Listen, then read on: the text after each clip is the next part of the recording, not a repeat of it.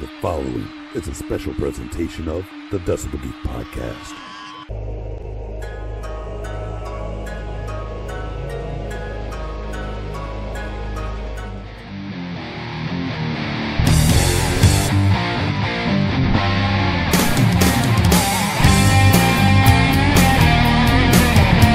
This is the Decibel Geek Podcast with Chris Czynszak and Aaron Camaro. All right, we're back at it once again. The show that just wants to reach out and touch somebody, but they won't let us. This is the Decibel Geek Podcast, Quarantine Sessions number six. My name is Aaron Camaro, joined as always by my good friend in his car, Chris Czynszak. How's it going? good, man. Back to the car, huh? Yeah, I you know I can't make anything else work from my own home office, so I'm, I'm sitting in my driveway in my car. These are the prices we pay during the quarantine. But the show rolls on as always. Decibel Geek Podcast not going anywhere. But you know what? We've been having a lot of fun doing these quarantine sessions, and we're going to keep it rolling here today. So we've got an awesome special guest. We're going to bring him on in just a minute. But before we get to all the fun and all the awesome questions you guys have submitted for us today, we got to take care of our business. And we're back in business with a sweet review. We only got one, but man, this is something else right here. I this is one of the best reviews that we've gotten in a while and we get some really great ones, but man, this is something else. So check this out. It's 5 stars. It comes to us via Apple Podcasts and it's entitled Happy 400th Episode. And it goes like this. Congrats to hosts Chris and Aaron on 400 episodes spanning 9 years. Lots of hard rock podcasts out there but Decibel Geek remains my favorite. Not just because of the variety, interviews, year in review retrospectives, track by track album discussions, looks at new bands, music not played on the radio, etc., but because of the creativity. An episode about Alice Cooper's Blackout era could be followed by metal covers of Rush their top five Bon Scott era ACDC songs, the heavier side of Pink Floyd, or favorite Aerosmith tunes from the 80s. Not to mention the dozens and dozens of episodes dedicated to the hottest band in the world, Kiss. Thanks for all the research you do, the knowledge you drop, the attention you give to the bands who aren't platinum sellers, and for all the camaraderie and laughs. Man, is that awesome. That comes to us from Jason in Detroit Rock City, right here in the good old USA. And man, that is freaking awesome. That's a great review. Can't argue with that. I appreciate all the kind words. Thanks, Jason. Yeah, such a great review, man. I love it. I might need tissues because it's so good. I love it. If you think you can top that, good luck. But we'd like to see you try. Leave us a review, a recommendation, Podchaser, Apple Podcasts, Facebook, whatever, wherever. We'll take them all. And if they're as good as that one, man, that's freaking awesome. Yeah, that's a great review. Keep them coming. And uh, our other favorite people, the Geeks of the Week, these are people that shared on Facebook and retweeted on Twitter. Last week's Quarantine Sessions 5 with special guest Victor Ruiz. Thanks to Victor for coming on. And be sure to check out Mars Attacks podcast if you haven't already. And also his Galaxy of Geeks podcast. We cover a lot of cool sci fi and pop culture stuff. Yeah, Victor's an awesome dude. It was a lot of fun to have on the show with us, and you know what? He helped you get your crown back. We'll see if you get to keep it today.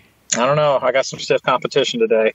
All right, Geeks of the Week this week are Mike Grabowski, Cobras and Fire Podcast, James McElhenney, Kristen Schimbeck, Jay Shabluski, Bill Elam, Aaron Martell, Simon Catt, Shay Hargett, Victor Ruiz, Mars Attacks Podcast, Mark Alden Taylor, Freeform Rock Podcast, Joseph Capone, Adam Cox, Thor Bjorn Olson, Kevin Williams, Christopher Stokes, Nate Atchison, Craig Turtich, Scott Crouch, Aaron Baker, Mike Parnell, David Glenn, Sit and Spin with Joe, CGCM podcast, Trevor McDougal, Jeff Taylor, Jay Ruiz, Ayala, JJ Max, Steve, the Steve, actually shared the episode. Nice. Joel Hoffman, Jeffrey Mendenhall, Ernesto Aguiar, and as always, the, the Mooger Fooger. That's right. Those are our people, our good, good friends.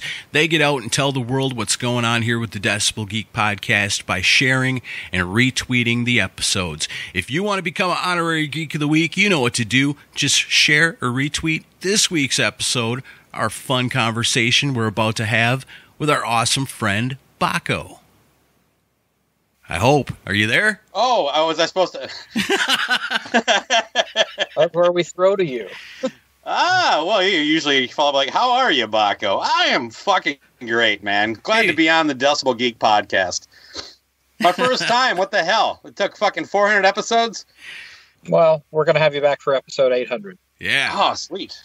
Let me I'll, uh, I'll put it on the pencil you calendar. Here. Well, Aaron and I both uh, big fans of your show, even though you bust our balls on a regular basis. And um, how are things in Cobras and Fireland? Uh, pretty good. Um, you know, we've been uh, Lewis has dialed back his commitment, so you know he doesn't have the, the same drive and, and passion for podcasting that the three of us do. Uh, but uh, no, you I know you got him coming on, uh, uh, coming up here too, so he can bust bust me back a little bit there. Yeah, I, I, I would like to point out that I started kind of a side cast to fill in the the open weeks.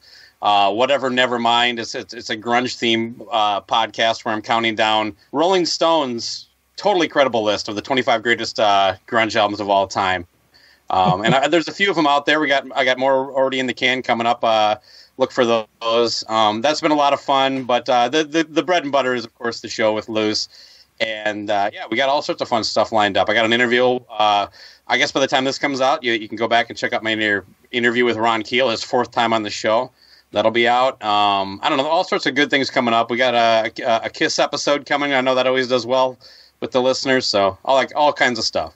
And uh, I'd like to point out that Aaron Camaro appears on Cobras and Fire every single week these days. That's right. I'm the third host. Yeah, pretty regular. Yeah, he's, he's kind of an Andy Richter role. he's there to make sure that somebody laughs at our jokes because most people won't. But uh, we appreciate your your commitment too, Aaron. Good. Even my commitment is bigger than Luce's commitment to your show. Indeed. Oh, man. All right. Well, we, we put out the call for questions, and you guys delivered again. And uh, I guess we'll get started. Big time, man. I was always worried that, you know, the quarantine session, I hope I hope the questions don't run out of steam before the quarantine does, but man, you guys have been knocking it out of the park. We've got a whole bunch of great ones here today, and we'll go ahead and get started with them right off the top. Um, this one comes to us from Rock Music Junkie 74 and he asks while a lot of us have a lot of extra time on our hands have you guys discovered any new bands or older bands that are new to you so you guys been checking out anything during the lockdown I don't know if it's necessarily because of the the lockdown, but I've been listening to a band called White Reaper, which uh, I I was recently turned on to.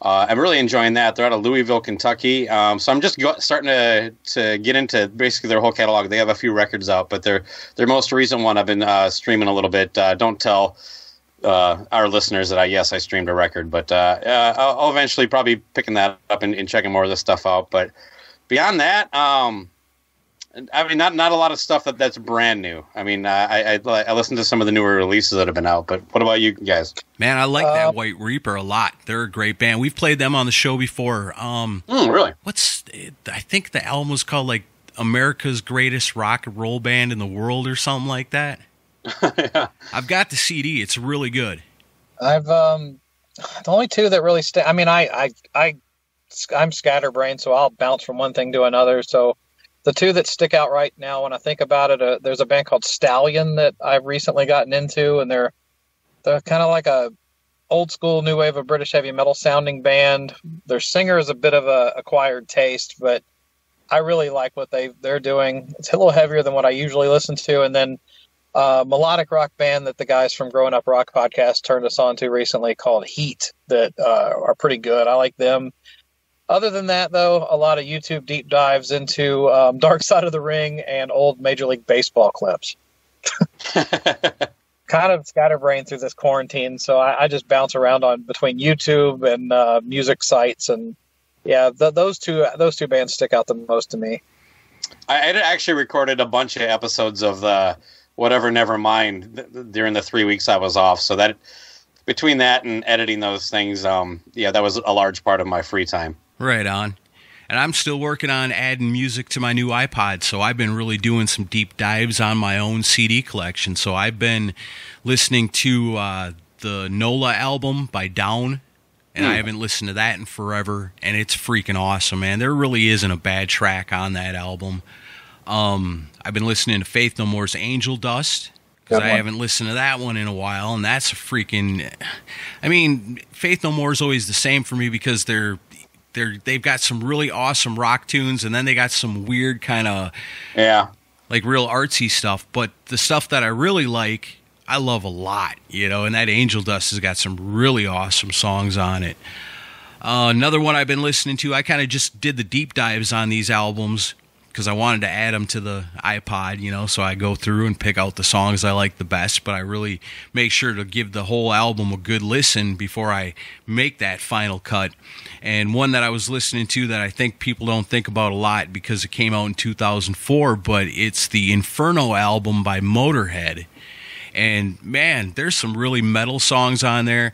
There's some songs that sound like they could have came out on Ace of Spades. I mean, it's it's a really cool album. Like I said, when you think about the Motorhead discography, I don't think most people think of like the album that came out in 04. You know what I mean? Sure. Yeah. And then I pulled out Slaughter's Wildlife. And I, man, I forget what a eclectic album that is because there's some good Slaughter rock tunes on there, but there's also some weird kind of experimental songs on that album too. It's like the first half is what you'd expect as the follow up to their first album, and then like the second half has got some stuff mixed into it that is really kind of out there. And I should probably go back to that because when that initially came out, I rejected it on spec. I did not like that wildlife track, and so I kind of ignored it, even though my roommate bought it. Uh, but I, I don't know. With recently in the like the last decade, I heard wildlife again. It might even been on you guys' show. Did you guys? No, I'm thinking of a different uh, Wild America. Well, but but wildlife, I heard. Um, and it's a, actually a really killer tune, man. So maybe I should go back and give that, that album a, a fair crack. Um, I don't know. I'm kind of mixed. I have mixed feelings on that record. I, it was a it was a letdown for me when it came out. I was looking forward to it, and it didn't really measure up to the first one. But I, I mean, it, I, it, and like Baco said, I probably need to go back and give it another chance. It's probably been 15 years since I've tried to listen to that record. I think yeah, you should. you can. That was the reason I pulled it out was because I hadn't listened to it in forever. And I remember when it came out, I remember being excited about it coming out. I remember digging the song Wildlife when I saw the video. And uh, yeah, I like it. You know, there's a, I didn't take every song off it and put it on the iPod because, like I said, some of it's, you wouldn't even think it was a Slaughter song. But there's some odd stuff on that album. And, uh, but for the most part, the songs that are good are really, really good.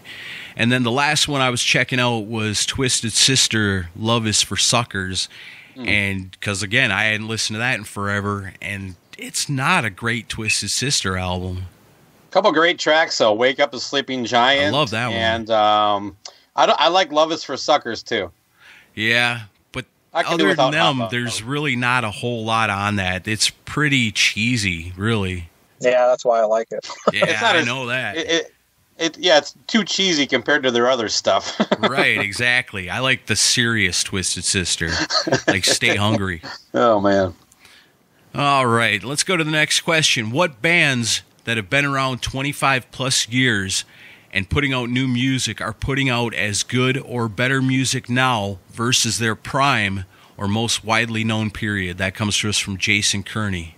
I, I'd have to say Stryper is the first one that comes to mind for that. Sure. That's a good one. Yeah, definitely. I was having a conversation with somebody last week about Stryper, and I was like, Did you know that Stryper from the last 10 years has put out some of the best music they've ever put out? They're like, Really? Stryper's still putting out music? It's sad. um, I think one that pops in my head is Saxon. I think Saxon's putting Yeah. out some of their best stuff ever. Overkill is still putting out some of their best stuff. Um, I know I've mentioned it every week, the last few weeks. That new Local H is freaking killer. Just awesome.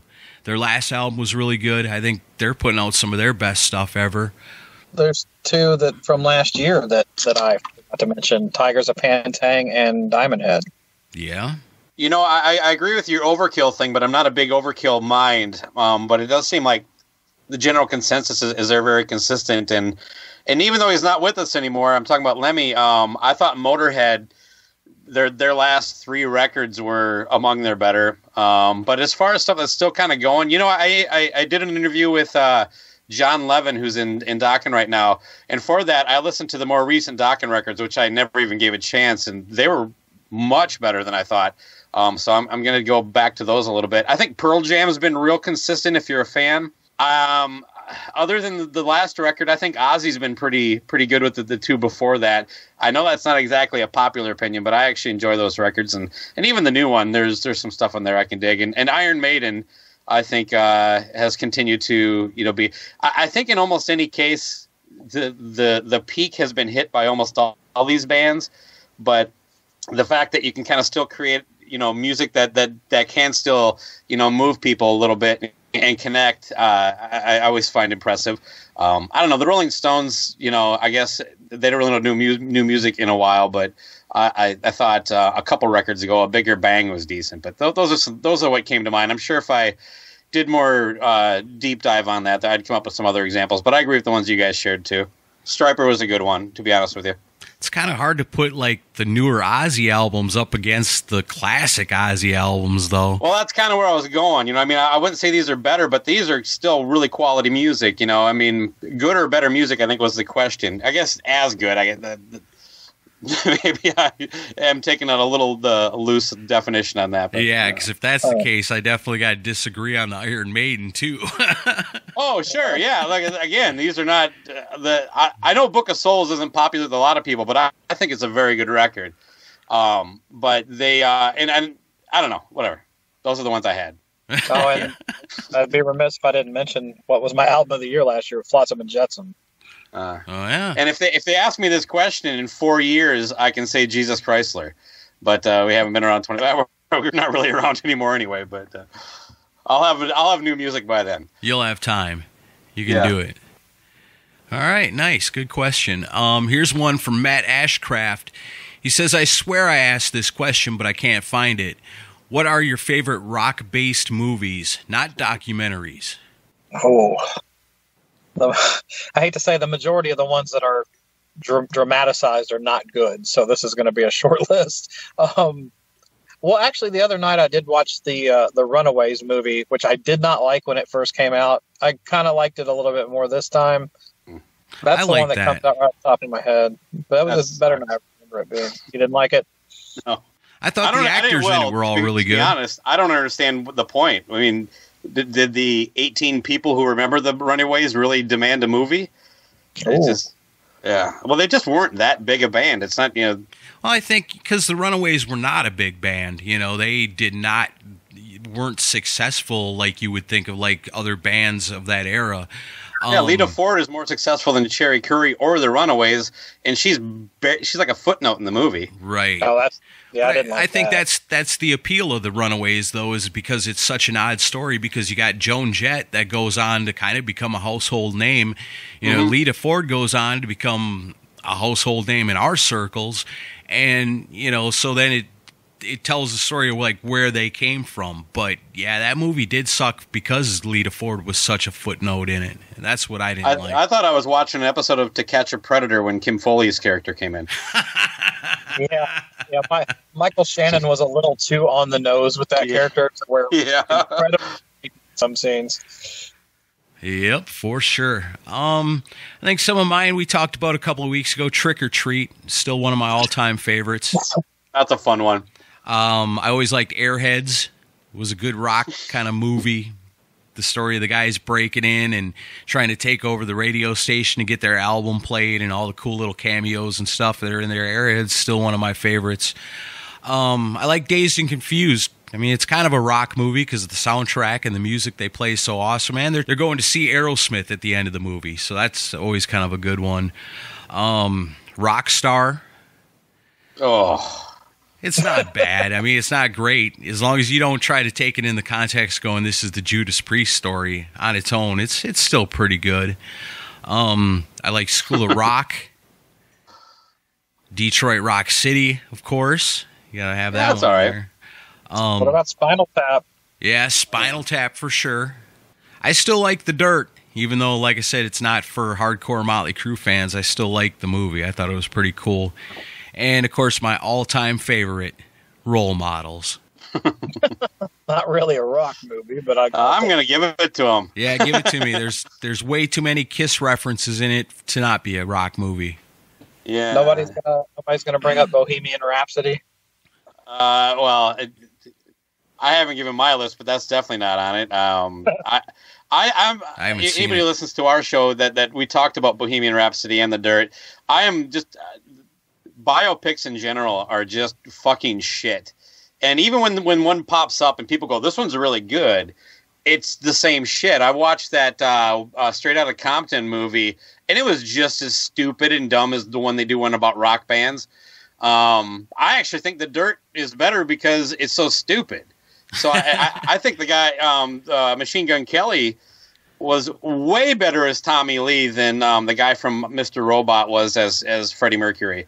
Yeah, Uh, but as far as my pick, it's Kiss Meets the Phantom of the Park. Duh. of course. Uh, um, uh, I had Blues Brothers and, and Singles. I think those are good movies. Um, but probably my favorite one is High Fidelity. That's a good one. that is a good movie. I haven't seen that in forever. I love a great documentary, though. Honestly, the Eagles documentary was killer. The Rush one was really good. Um, even ones that are just made well but aren't that deep, like the new ZZ Top one, I, I enjoyed that a lot. Uh, but so, eh, but he specifically said not documentaries, but I, I do enjoy those quite a bit when, especially when they're they're kind of done honestly, at least you know from the viewer's point of view. Yeah. Baco's got good opinions, but he's not very good at following instructions. Mm, yeah, well, I did say high fidelity, so. and then I just couldn't help myself. All right, Matt Ashcraft also has a question that goes along with that, and he asks what our favorite rock and metal movie soundtracks are. Well, the one that comes to mind immediately is The Crow. I mean, I remember Yeah. really, really that big. I remember really, really loving that soundtrack. I love the movie too, but uh, yeah, that soundtrack was one that didn't leave my car for quite a while. Right on. Uh, I got to go with Trick or Treat again. Yeah. Not Fast only is the movie awesome, the whole it's it's basically a Fast Fastway Way's best album. I think so. yeah. Um, said Airheads that had an awesome soundtrack to it. I like Bill and Ted's Bogus Journey. Mm-hmm. That's a good one. Yeah, Uh, both Bill and Ted movies actually yeah. had really good Yeah, the first one was pretty good too. Um, Bride of Chucky has got a really good soundtrack.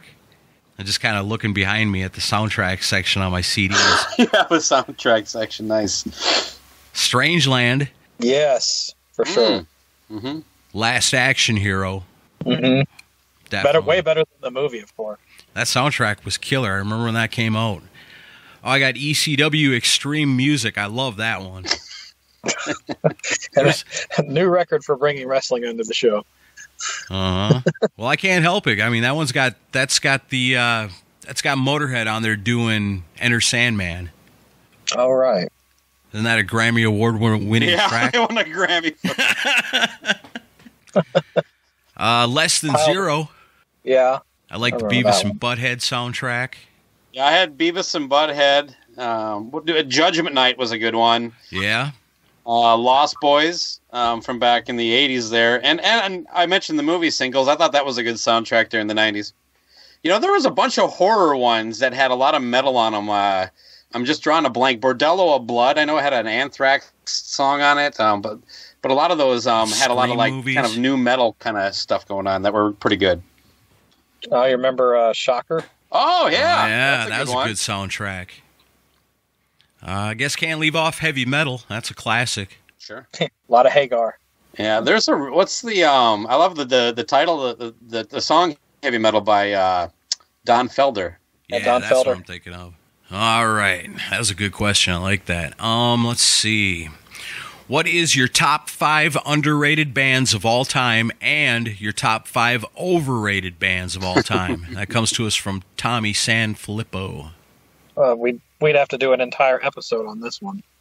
I think that's Well, easy. I, you know, I'm, I I almost felt like this was like someone trolling me because like uh, I, I don't think there are very many bands that are underrated or overrated, but uh, other than Beyonce is overrated. Uh, I, that was it. Uh, I guess I think Y and T is a bit underrated, just because I, I do think they had a chance to to crack if they would have had uh, I don't know certain things fall their way. The, the songs are there and the production and yeah. um, you know the look you know even the name isn't isn't anything that held them back so i thought about you too but even then i'm like fuck i kind of just because i don't like it doesn't mean they're overrated but i don't know i'll, let you guys take this one from there All right. Well, I looked at it as, you know, rock ish bands at least that so many people seem to love that I just can't seem to stand. So for most overrated, That's I a got a better question. Yeah. U2, Creed, REM, Dave Matthews Band, and Coldplay, I guess.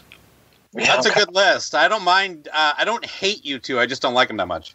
Yeah, I'm I'm close to the same on the overrated list with you. I mean, definitely Coldplay, um, Creed, Nickelback. Uh, I'll say over for me over. I think Slipknot is overrated. I have never fully clicked with that band. I don't. I don't think that they're bad, but I think that they're.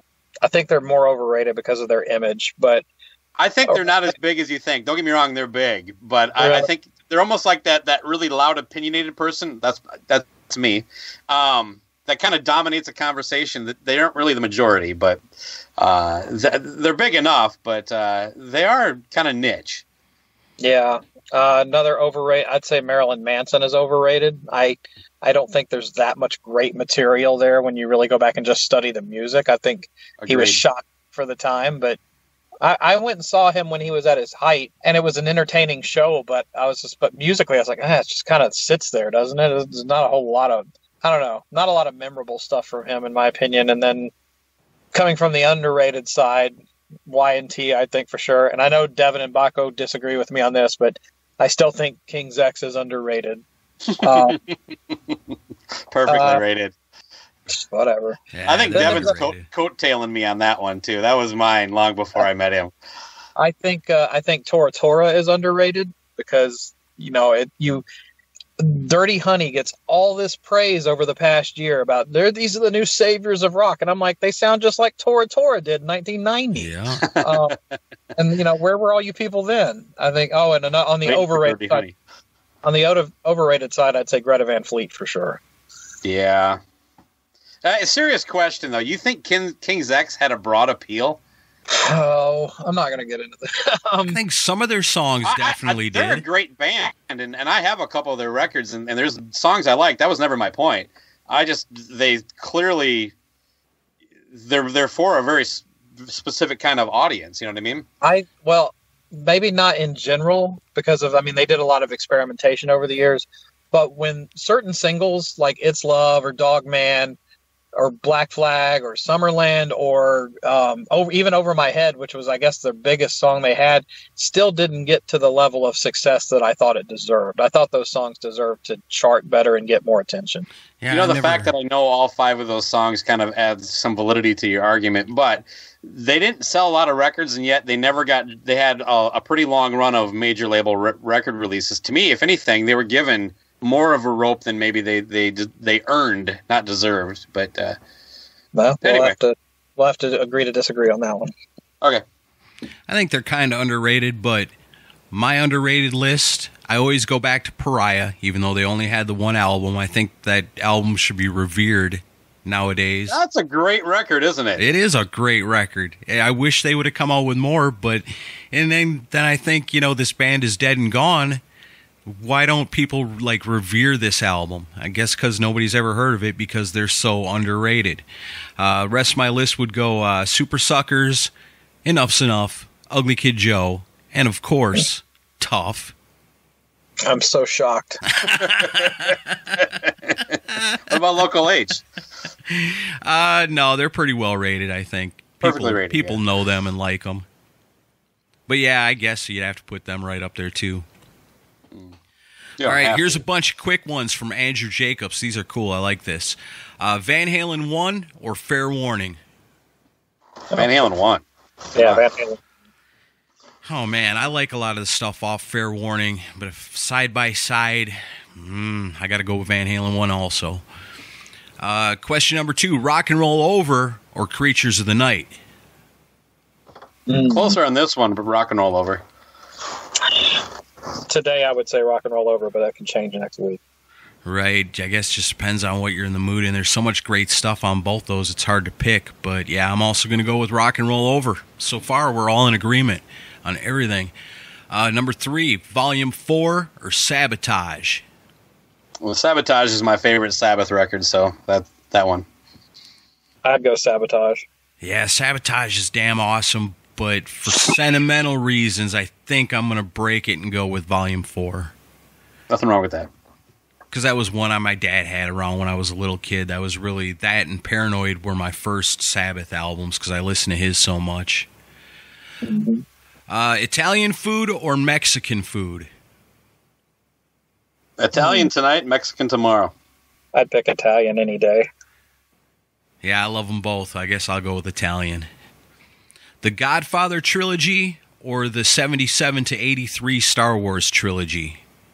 Star Wars. Never clicked with Godfather. I like both, but I'll say Star Wars. Uh, yeah, I was brought up on Star Wars. Just kind of recently started watching the Godfather trilogy. I really need to finish that up. Uh, but yeah, definitely Star Wars. You only need the first two Godfather movies. Yeah. Yeah. Three's okay, I guess. Which is worse or better?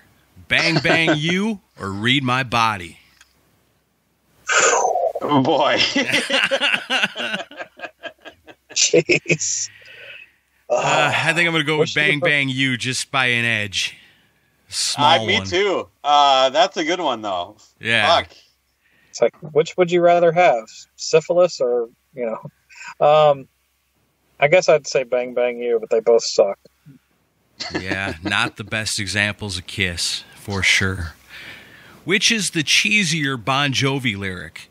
I walk these streets, a loaded six string on my back, or my life is like an open highway, but Frankie said I did it my way. Can, can something be cheesy but you still like it? Yeah, 'cause Sure. I don't think I Okay. walk these streets, a loaded six string on my back is really that cheesy. It's kind of clever That's and pretty cool. cheesy. I like don't it. I like it better. I, am okay anyway. with both of them. If I'm picking one, probably the Frankie said I did it my way.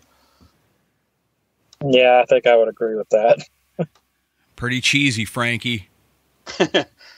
You fucking Jersey guys all sticking together. Uh, Mick Watkins wants to know Have you heard my band Wild Ride? And if so, what do you think? Have you guys checked go- out Wild can I go Ride? first? Yeah. I had never heard these guys, but because of this question, I went. I tried to check them out, um, and uh, I guess you know maybe I should have gone back when we were having all those uh, problems getting set up here. Uh, I- so I didn't get a good read on it. My my only comment is that the singer sort of looks like a Ryan Cook. Chris, did you check it out? I, no, I'm not going to lie. I have not had time. Well, I've not taken the time to check it out. But Mick, uh, you always ask great questions, and I certainly need to check it out because I have heard that you guys are good. I actually went ahead and checked it out. I checked out a couple of songs. I really like the song Pushin'. So it's Wild Ride. It's spelled W Y L D R Y D E. It's very classic metal, 80s metal style. And uh, yeah, that song Pushin' is freaking badass. And the album's called City Streets. And you can like them on Facebook. And I recommend everybody check them out because I want to check out more of it for sure. But I really dig that song. You said the that song was called "Pushing." Yeah. All right, I'll check that out. Really good. I dug it. Uh, let's see. song? Uh, Grayson Gallegos wants to know what's a question you'd like to answer, but no one asks. Go ahead, Baco.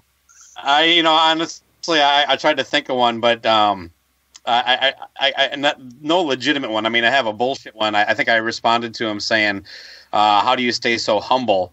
Uh, but uh, you know, But it, nobody uh, asks.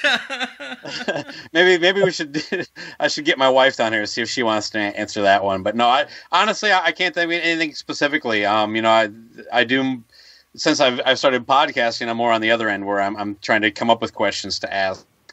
Uh, but uh, for the most part, uh, I- I'm willing to share almost any detail of my life. So uh, if if there's anything you want to know, Grayson, let me know. But uh, I, I, I'm sorry I couldn't come up with a better answer.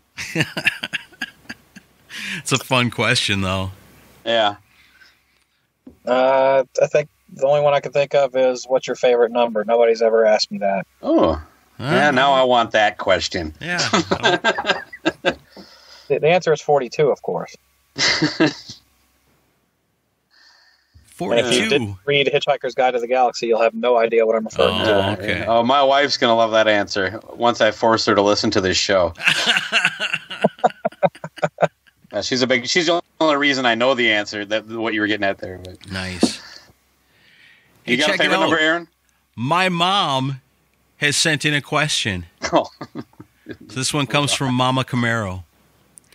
Is the Elder album worth five thousand dollars yet? Is there a backstory to this question? There is a backstory to this. Okay. When I was a kid, I thought the Elder was so rare that someday it was going to be worth big money. And I had a copy of the Elder. I actually ended up getting two copies of the Elder on LP. Now I'm I'm not this isn't in 1981 when it comes out. This is years later. Sure. So I had the one with the paper inner sleeve with the lyrics on it, and then I had the one with the clear inner sleeve that you could see through. And when I got the second one, I said, okay, cool. Well, I'm going to give this other one to my friend Jason, who is a huge Kiss fan and doesn't have the Elder. So I'm going to give this to him for his birthday. So my mom had listened to my bullshit for all these years about me talking about how this album is so rare and how it's going to be worth a lot of money someday. I'm going to hang on to it and hey, this might even put me through college and all. I don't, I don't know where I got the idea. Oh, community college in Wisconsin. I think you got a Yeah, I maybe could have for a semester possibly. but uh just because it was so hard to find. You know, it's not like you could go to the local new music store and find it on cassette tape or find it on LP at that time, you know. So I really thought it was rare. And so my mom had listened to me talk all this for so long that she believed that it was something special. Like I actually knew what I was talking about. And so when she found out that I had given it to him as a gift, she actually made me take it back. Oh, So she was mad at me over this. And it, you know, we laugh about it now because it was my own fault because I was running about my mouth about how this album is so rare and so special, not knowing what the hell I was talking about. But I had to call my friend up and make him like, look, man, you know, I wanted to give that to you as a birthday gift, but my mom found out and she's making me take it back. You know, I don't know what to do. And he's like, hey, you can't do that. You know, you gave it to me as a birthday present. I was like, yeah, I know, but my mom is making me get it back. so I ended up getting it back from him and hanging on to it. But, you know, like I said, I I didn't know if it was going to be worth $5,000. And I bought the remastered CD at the McKay's for seven bucks. Seven dollars too much. oh, uh, Mama Camaro. Uh, it may not be worth five thousand dollars, but there is some collectability to that record.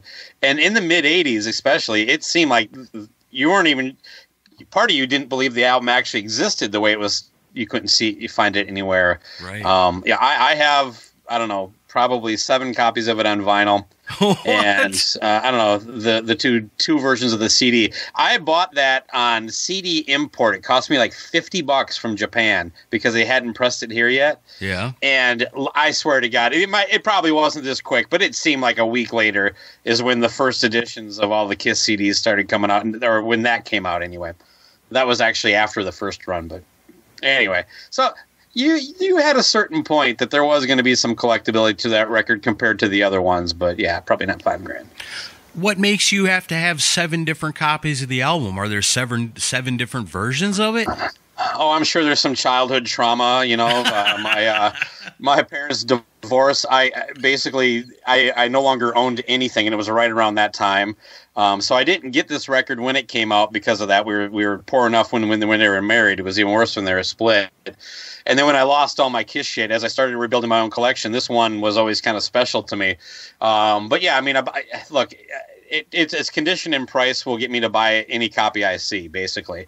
So if, if it's not terribly outrageously priced and it's in good shape, I'll, I'll usually pick up a copy. But I have like a foreign, like a Chilean version of it. Uh, I have the two you mentioned, probably a couple copies of each. Uh, I have the remastered one from the 2014 repressings, but I don't know. See, mom, I'm not the only crazy one. Yeah. Hey, at least your mom knows what the elder is. Exactly.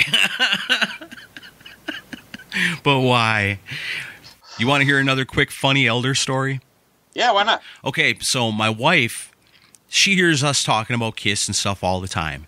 And we were watching that show on Reelz about Kiss and the Elder come up and I said, "Oh yeah, the Elder." And she says, "Well, what is the big deal about that album? I hear, you know, I in in the background I hear you guys talking about it all the time, you know, about what a weird album it is. What's the deal with that? So the other night I sat down and I had it in the CD player and I said, okay, I'm going to tell you the story about the about the Elder, music from the Elder. I said, so in 1981, when this album comes out, there's a bunch of young Kiss fans that are really excited about the new album. Like in the magazines, they were talking about like this is going to be a return to form for Kiss, you know, and back to our roots and playing some hard rock and stuff, you know. So people were excited about it. People that were big Kiss fans, and so they went to the store, and I said when they got to the record store and they went to the K section and dug in, this is what they found, and I showed her the album cover, and she kind of crinkled her nose, and it's like that's a Kiss record. You know, this is from my wife. She's not nerds like us about it. And, but it's clear to her that, you know, what a kid would think expecting a new Kiss record. And so I said, okay, furthermore than that, these kids look at this album and they go, huh, okay, well, I mean, it's a big, you know, metal looking door. Maybe, you know, maybe it is heavy and cool. And they rush and they bring it home.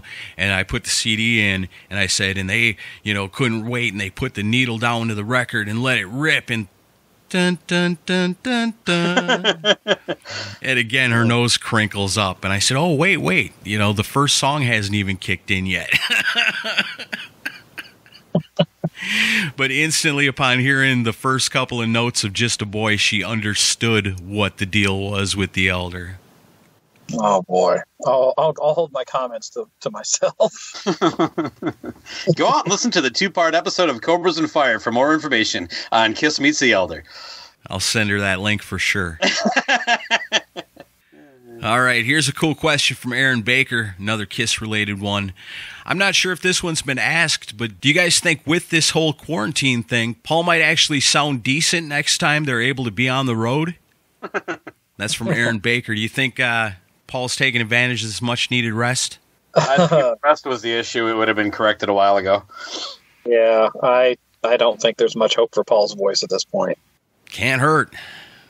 Yeah, that's true. Well, I mean, it, unless he keeps doing those videos. I, I heard yeah, the uh, right. the tape machine is getting a nice rest. I really hope he just uses old school tape still. it's what I know. like reel to reel. He's got a reel to reel hidden hidden behind the cabinets. Uh, like a fucking Walkman. He just hits a button. Gary Corbett back there hitting buttons. oh yeah, bring him back Yeah. for that. Yeah. Accidentally put on the forever reel. Uh, let's see. Here's one from Carlos Henriquez. He wants to know favorite Canadian metal groups. Have you heard of the awesome Canadian band Slick Toxic or the band Slash Puppet? Uh, I've heard of both of them. I love Slick Toxic. That's one awesome band that nobody ever really seems to talk about. I I saw them. Uh, oh god, on some five band bill here a few years back, but I don't know much about them. But. Were they good?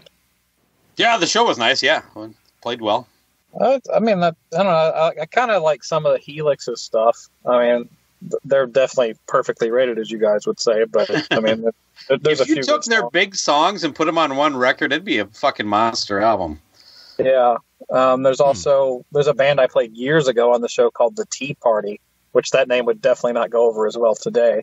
Um, but uh, they were they're actually pretty good. They kind of sound like a modern version of the Doors. I kind of like them. Um, I don't know. CGCM podcast can tune you into all the good Canadian bands. I, I love Monster Truck. I want to mention them, Yeah. Oh yeah. and of course, not going to surprise anybody, the Glorious Sons. But and you mentioned Oh, yeah. Helix, so the ones I had. Oh, not really a band, but Sass Jordan's pretty great. I'm going to go classic old school and say Bachman Turner Overdrive. Oh, nice. Well, what about? We Oh. should mention Rush, of course. Well, yeah. Rush is Um, from Canada? That's, uh, the rumor has it. Killer Dwarfs. Oh, yeah. You got to love the Killer Dwarfs. Overrated. No. Depends on which side of the border you're standing on. Oh, I knew that would get you. Uh, mad. Baco, have you ever heard the Method to the Madness album that they did? Uh, I don't think so. What year would that have been around? I couldn't tell you what. It's some late '80s, I think, or early '90s. Paul- So, like before um, Deadly Weapons.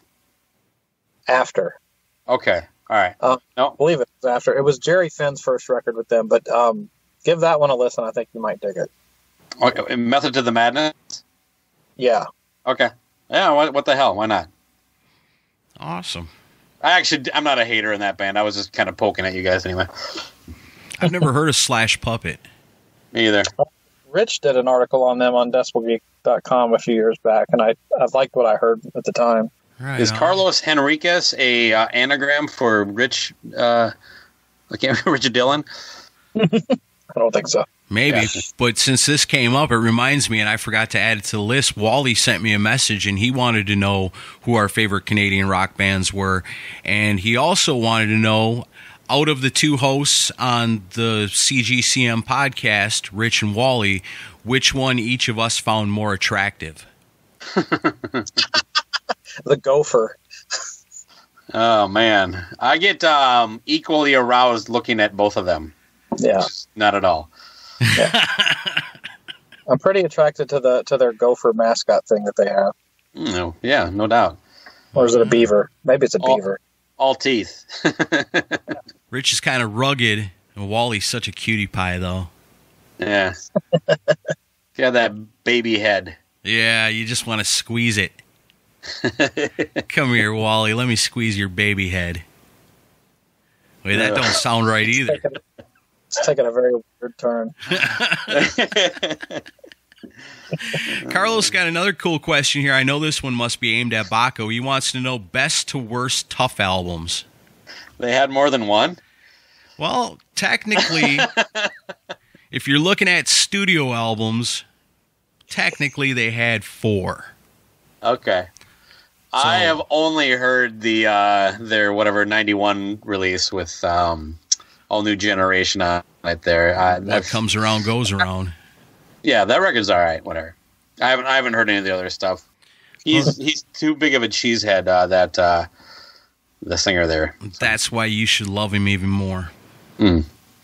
I, I only got room for one cheesehead in my life, buddy, and that's you. Oh. All right, well, I guess let's go to the expert on the subject here amongst us, and that would be me. So, Carlos, there's the answer to your question.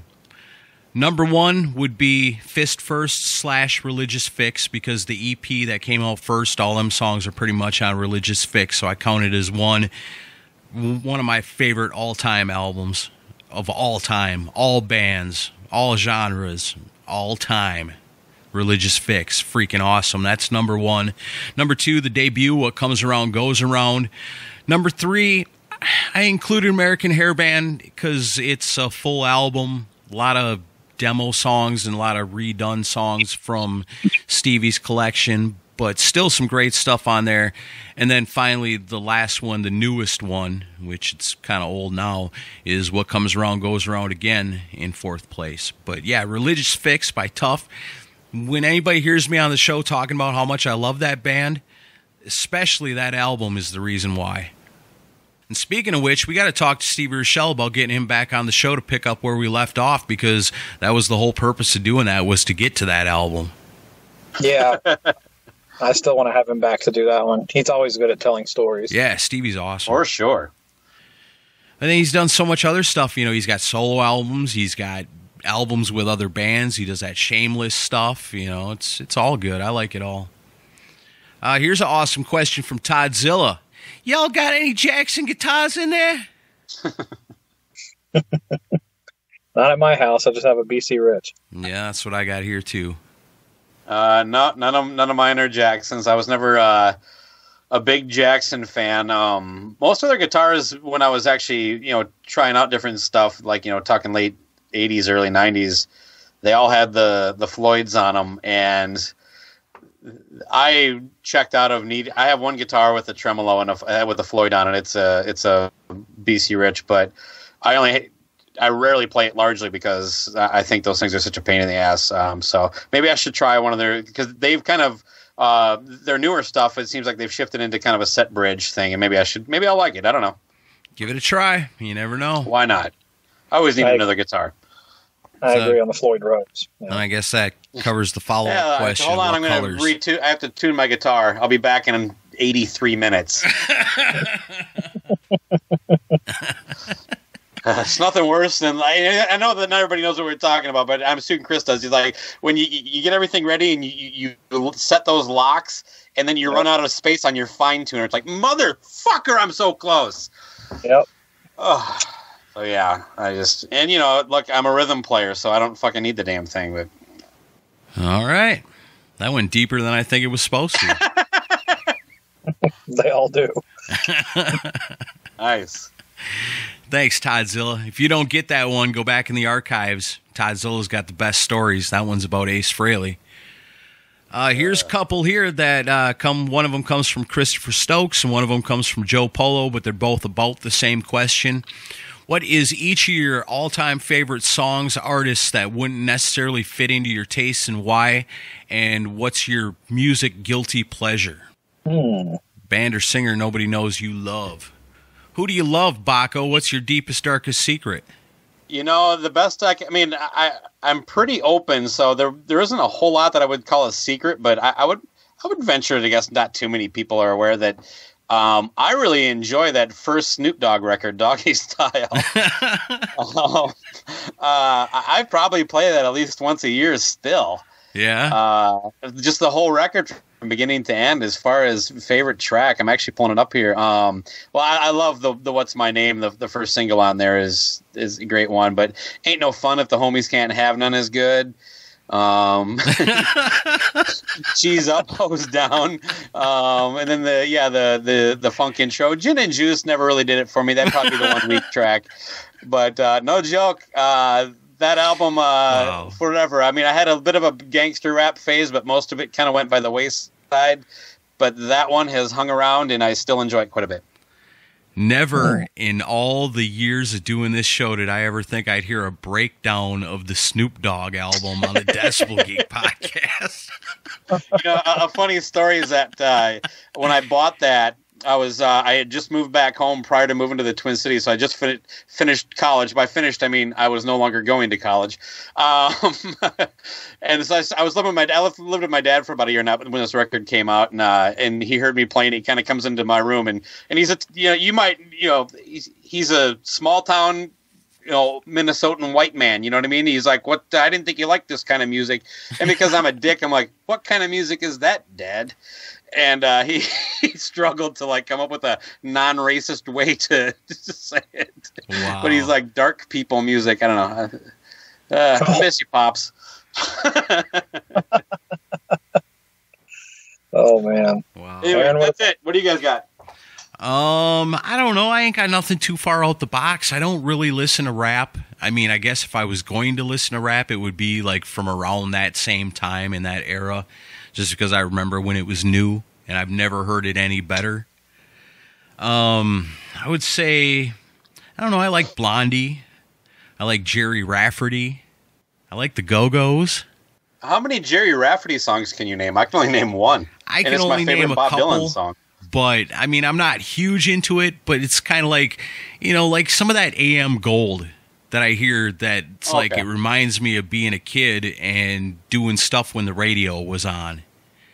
You know, and I, I just remember I had, my dad had that record. I mean, kind of like, uh, Black Oak, Arkansas, you know, that's that's kind of far on the edge of what I listen to because it's almost country music, you know, and I'm not a big country music guy, but I love that.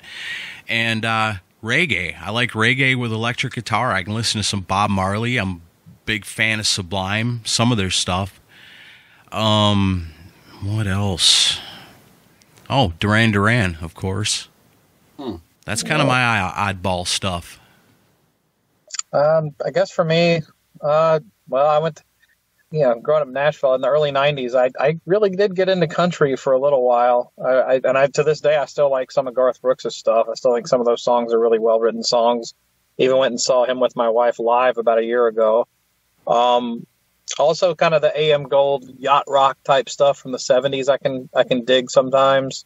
Uh, when I lived in Kansas City, I got into some jazz music. I got into Miles Davis, Charlie Parker, uh, Wes Montgomery, good jazz guitar player.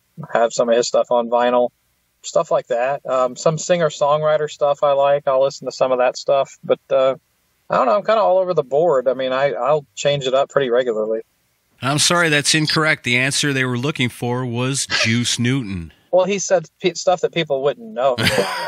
Oh, yeah, you're you're a legendary Juice Newton fan. Sorry. I knew I knew somebody was going to bring that shit up. Yeah, nice. All right, our main man, the Mooger Fooger, he wants to know. We have lost Randy Rhoads, Dime, Michael Jackson, Prince, and so many other legends. Who is the next that we can't afford to lose? Gotta be Ozzy. Yeah, that would be that's probably the, the number one on my list. It's been so scary lately that, you know, there's been so many reports over the last couple of years that, oh, Ozzy's about to die, you know, that it kind of freaks you out every time. Yeah, I have to put Ozzy right up there, but I don't want to lose any more legends. I don't know. That's a tough one. Uh, Yeah. Steve Wright, he's wondering who is the most underrated hard rock band of the 70s? A lot of great bands from the 70s that made it big, but twice as many that didn't. Who's the best one that didn't make it big? Thin Lizzy. They made it big, but you know, in the states, they're just not kind of. Uh, I don't know. As much as I'm not a big underrated guy, that's one band that probably deserves a lot more recognition in in this country than they get.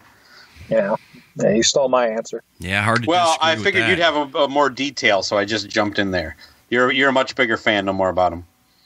Well, I mean, it, yeah, there's so many amazing songs, especially on the '70s records. There's there's a ton of and stuff that's radio friendly. Between them and the Ramones, I think both bands should have had way way many more hits. Yeah, hard to disagree with those. Those are both really great picks. I was going to say maybe not underrated at the time, but I think in retrospect they don't get a lot of love, and that's Grand Funk Railroad. You Yeah, know, they that's a good one too. Yeah, Blue Oyster Cult. Yeah, I love me some Blue Oyster Cult too. Uh, Jody Havnot's wondering what is the best sophomore effort of all time.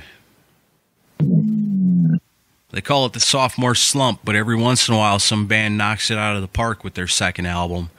I think the first one that comes to my mind is always "Slave to the Grind." That's a good one.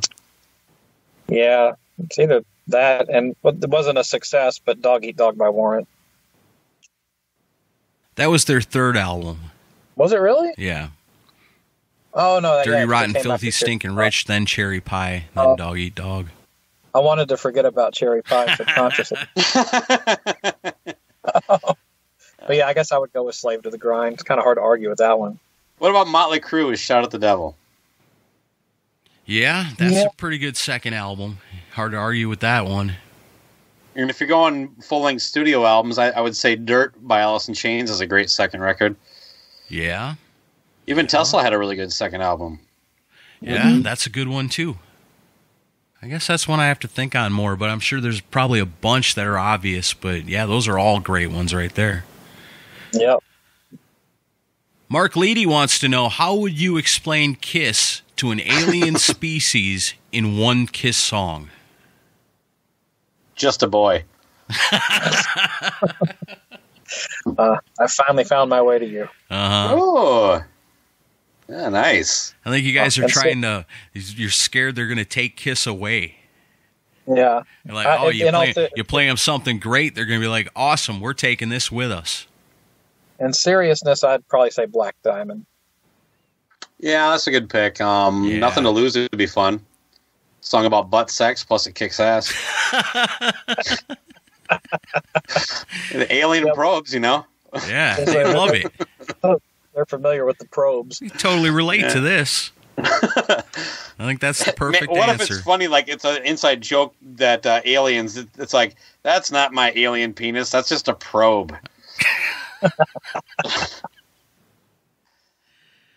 that's all I got.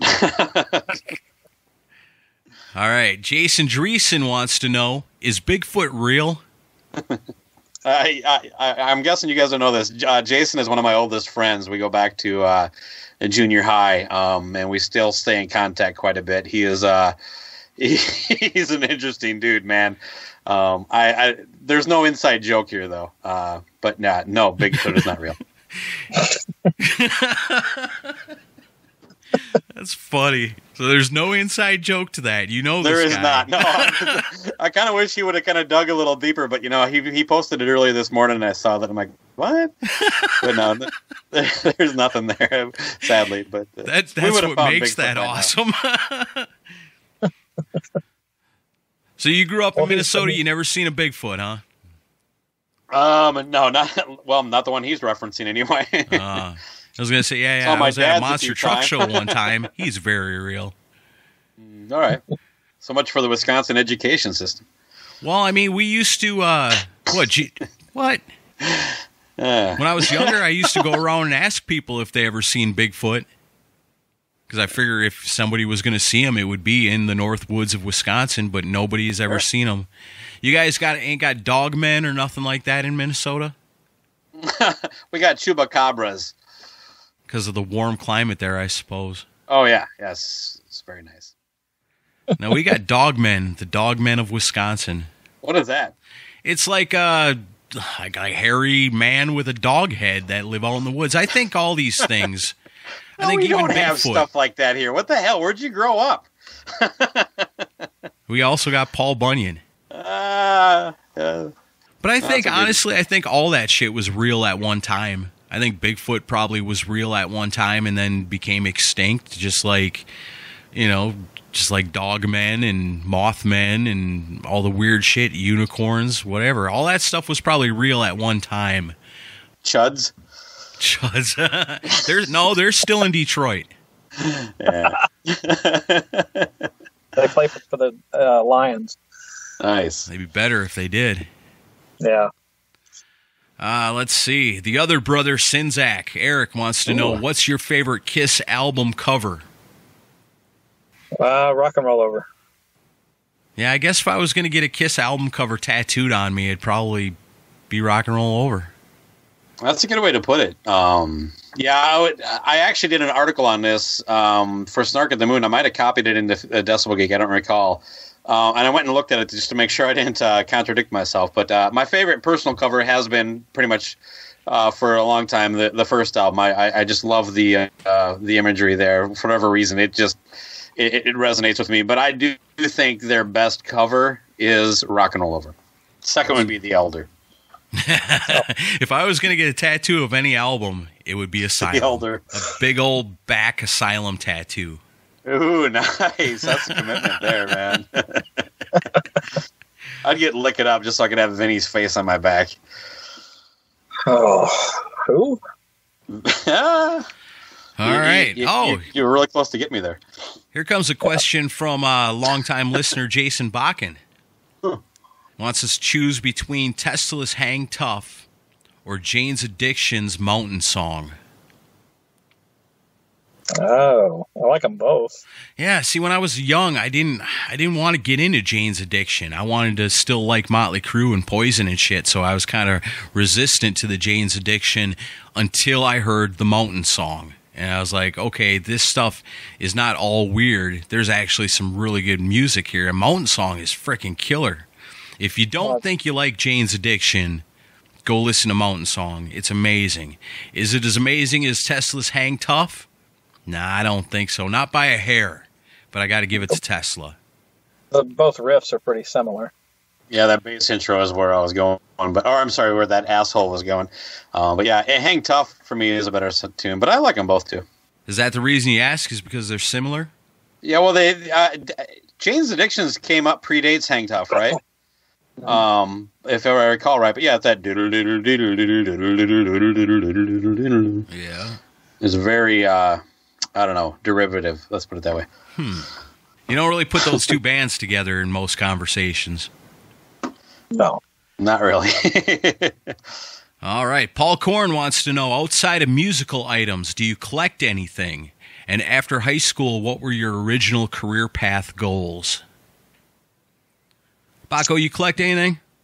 You know, um, for a while I collected like football cards, but honestly, I mean, I, I buy vinyl now. But he said non-musical stuff. There really isn't anything left uh, that I would say I collect, other than I don't know, empty beer cans. Um, but I get rid of them pretty quick too. Um, Do you still got any of your football cards? Did you get rid of them or you keep some? you know, I gave them all to my stepson. yeah, cool. All my, I, I had, I had a lot of basketball and uh, some hockey cards too, but it was mainly football. But yeah. When you were heavy Oh. into collecting, what was the most valuable card you ever had? Oh fuck, nothing really high end. Um, maybe about ten bucks. I think I had an Andre Rison rookie card. Nice. Um, but again, nothing um, Oh, nothing that was worth a lot. No, there might be a chase card that if he lucks out might be worth something someday, but that, for the most part, uh, it was about a two year thing, and then I kind of bailed. Chris, what do you collect besides rock stuff? Uh, I mean, still mostly just rock stuff, but uh, I mean, I used to really be heavily into baseball cards and baseball memorabilia. I still have a, a good chunk of stuff left. Uh, had to sell some of it when I was living on my own in Kansas City to keep a roof over my head, but still have a good amount of stuff. Mostly, you know, baseball stuff from like the 50s and 60s. My Mhm. dad and I, that was kind of something we would do together.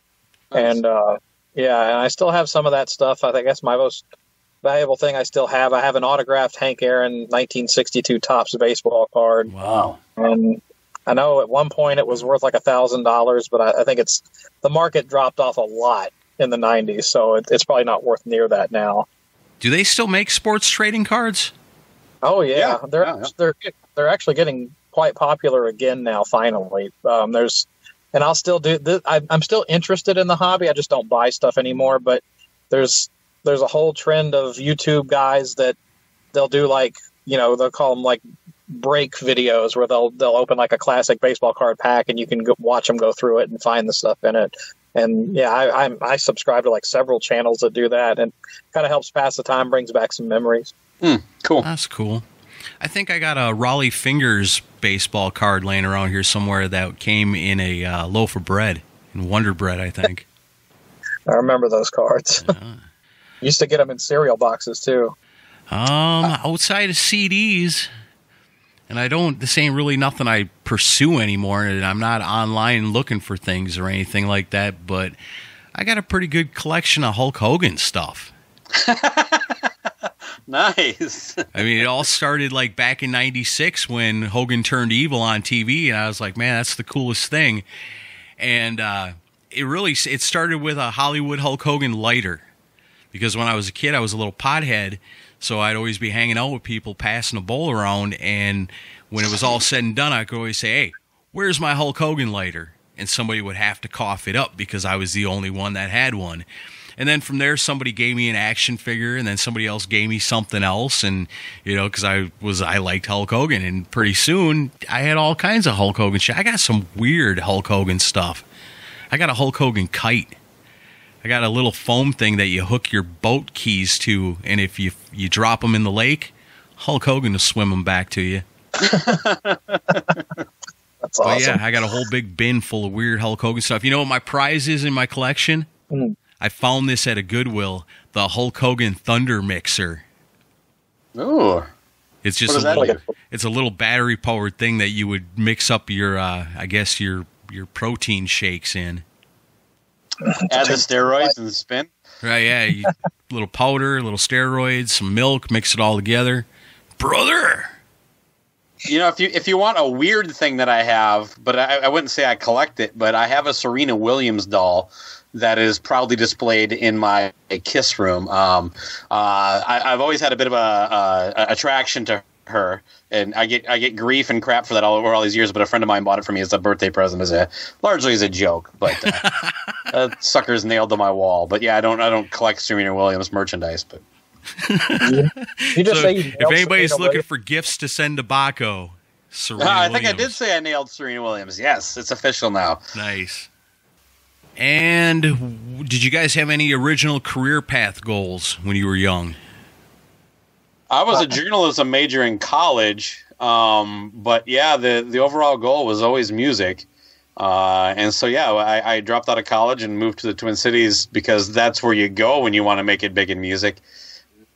So I, there was some trepidation on my part that probably hurt any chances I ever had at having any real type of career in the music, whether it be behind the scenes, things of that nature. I'm obviously still always doing stuff somewhat related to music between the podcast and my own little basement recording studio and, and things of that nature. And um, but yeah, it was always something like that. Ever since I don't know, probably about the age of ten, I was pretty sure I wanted to be a rock star. Uh, as I grew older, my, my expectations changed a little bit, but it was always about doing something with music. So uh, proudly, I, I am doing it, but nothing in the sense of that I make any money on it. But uh, at this stage of the game, I'm used to it. What about you guys? I remember Uh, being a young kid and my grand I'd be at my grandparents' house and someone would ask, "What are you going to do? You know, make money. What are you going to do for a job when you're older? What are you going to go to school? What are you?" And I'd say, "I'm going to be a rock star." And my grandpa would get so mad. He'd be like, "You're not going to be a rock star. That's what a stupid thing to say. You know, you need to have some realistic goals." And my grandma would say, "Yeah, hush now. You just leave him alone."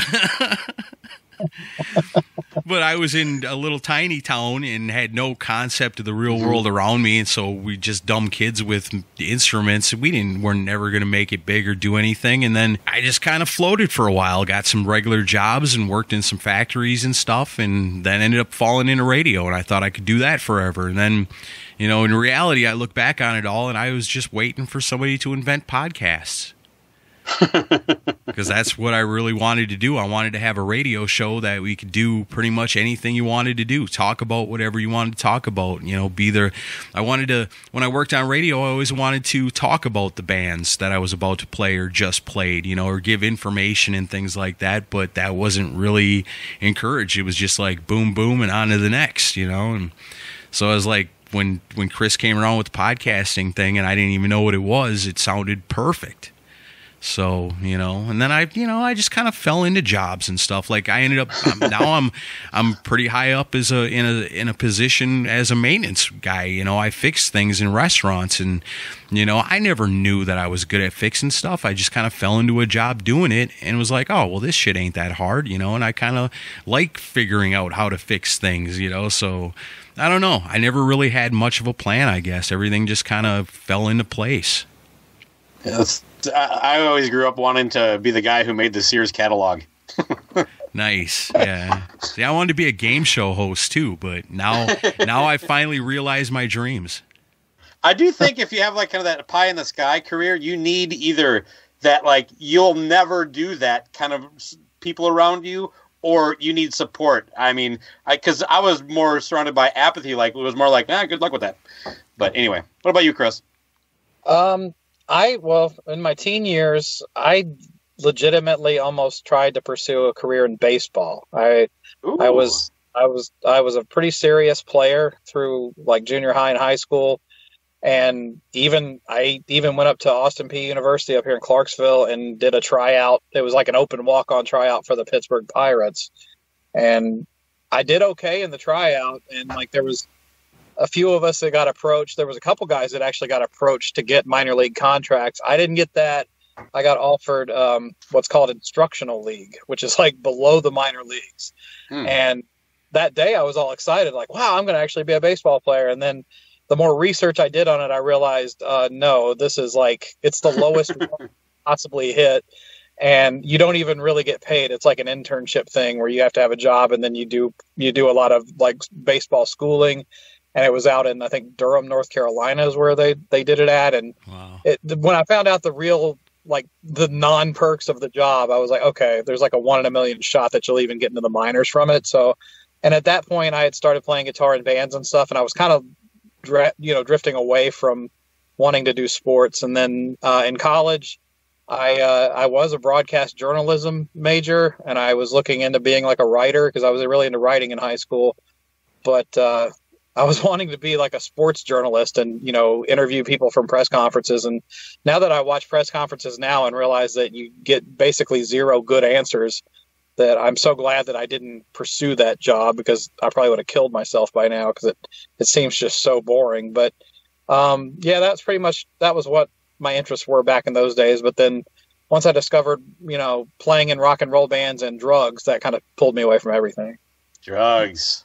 Yeah Do it. Do you think it would have been helpful if, um, for this question for both of you actually a little bit, because I do like if if there would have been somebody who could have been a serious mentor and given you kind of a breakdown of like, you know, of course you want to be a rock star, but here's what's more realistic: you can try to be a rock star, and when it's all said and done, there's a pretty good chance you'll have a job like this. And what I'm saying is like maybe if you would have pursued baseball a little further, done that Mhm. instructional league thing, maybe you would have been at a point now where you know let's let's let's shoot high, a GM or an assistant GM for a team, or you know like a a, a well paid scout or something like that. Do you think that would have been uh, beneficial, or I don't know? Uh, you think you, you you're better off doing what you're doing? Well, I mean, it, it, I wound up getting what I needed to because I mean, like I said, I was my interests were kind of drifting away from sports Okay. at that time. It was one of those things where it's like I had put in so much work to as a baseball player that it was like when the tryout came, it was like, well, I should at least try. But I, I kind of went up there reluctantly, and then when they offered it to me, I was got I kind of got reinvigorated. But then when I really stopped and thought about it, I was like, this is really not what I want to do. And it, it baseball had kind of become like a job anyway. So, um, but yeah, I mean, I, I would, of course, I would, you know, rather than do healthcare billing, having a job in baseball would have been.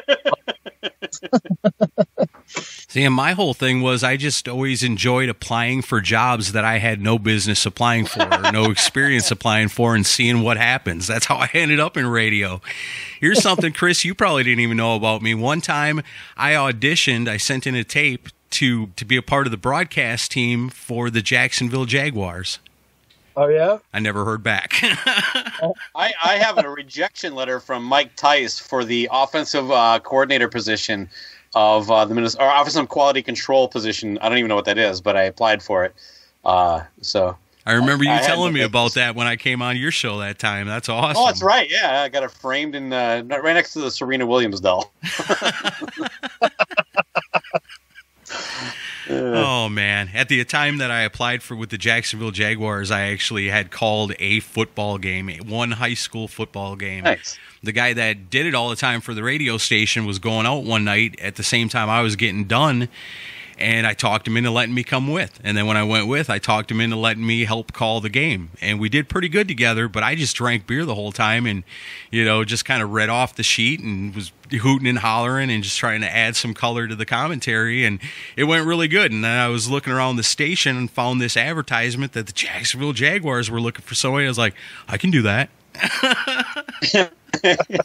You'd be a great uh, football analyst. You know what? They should hire you and I to just do two games a year, the Viking Packer games. Oh, that would be amazing. Maybe we should do that this year. Set up the Skype and do our own commentary for the football game. Yeah, maybe we should send them out as like audition tapes.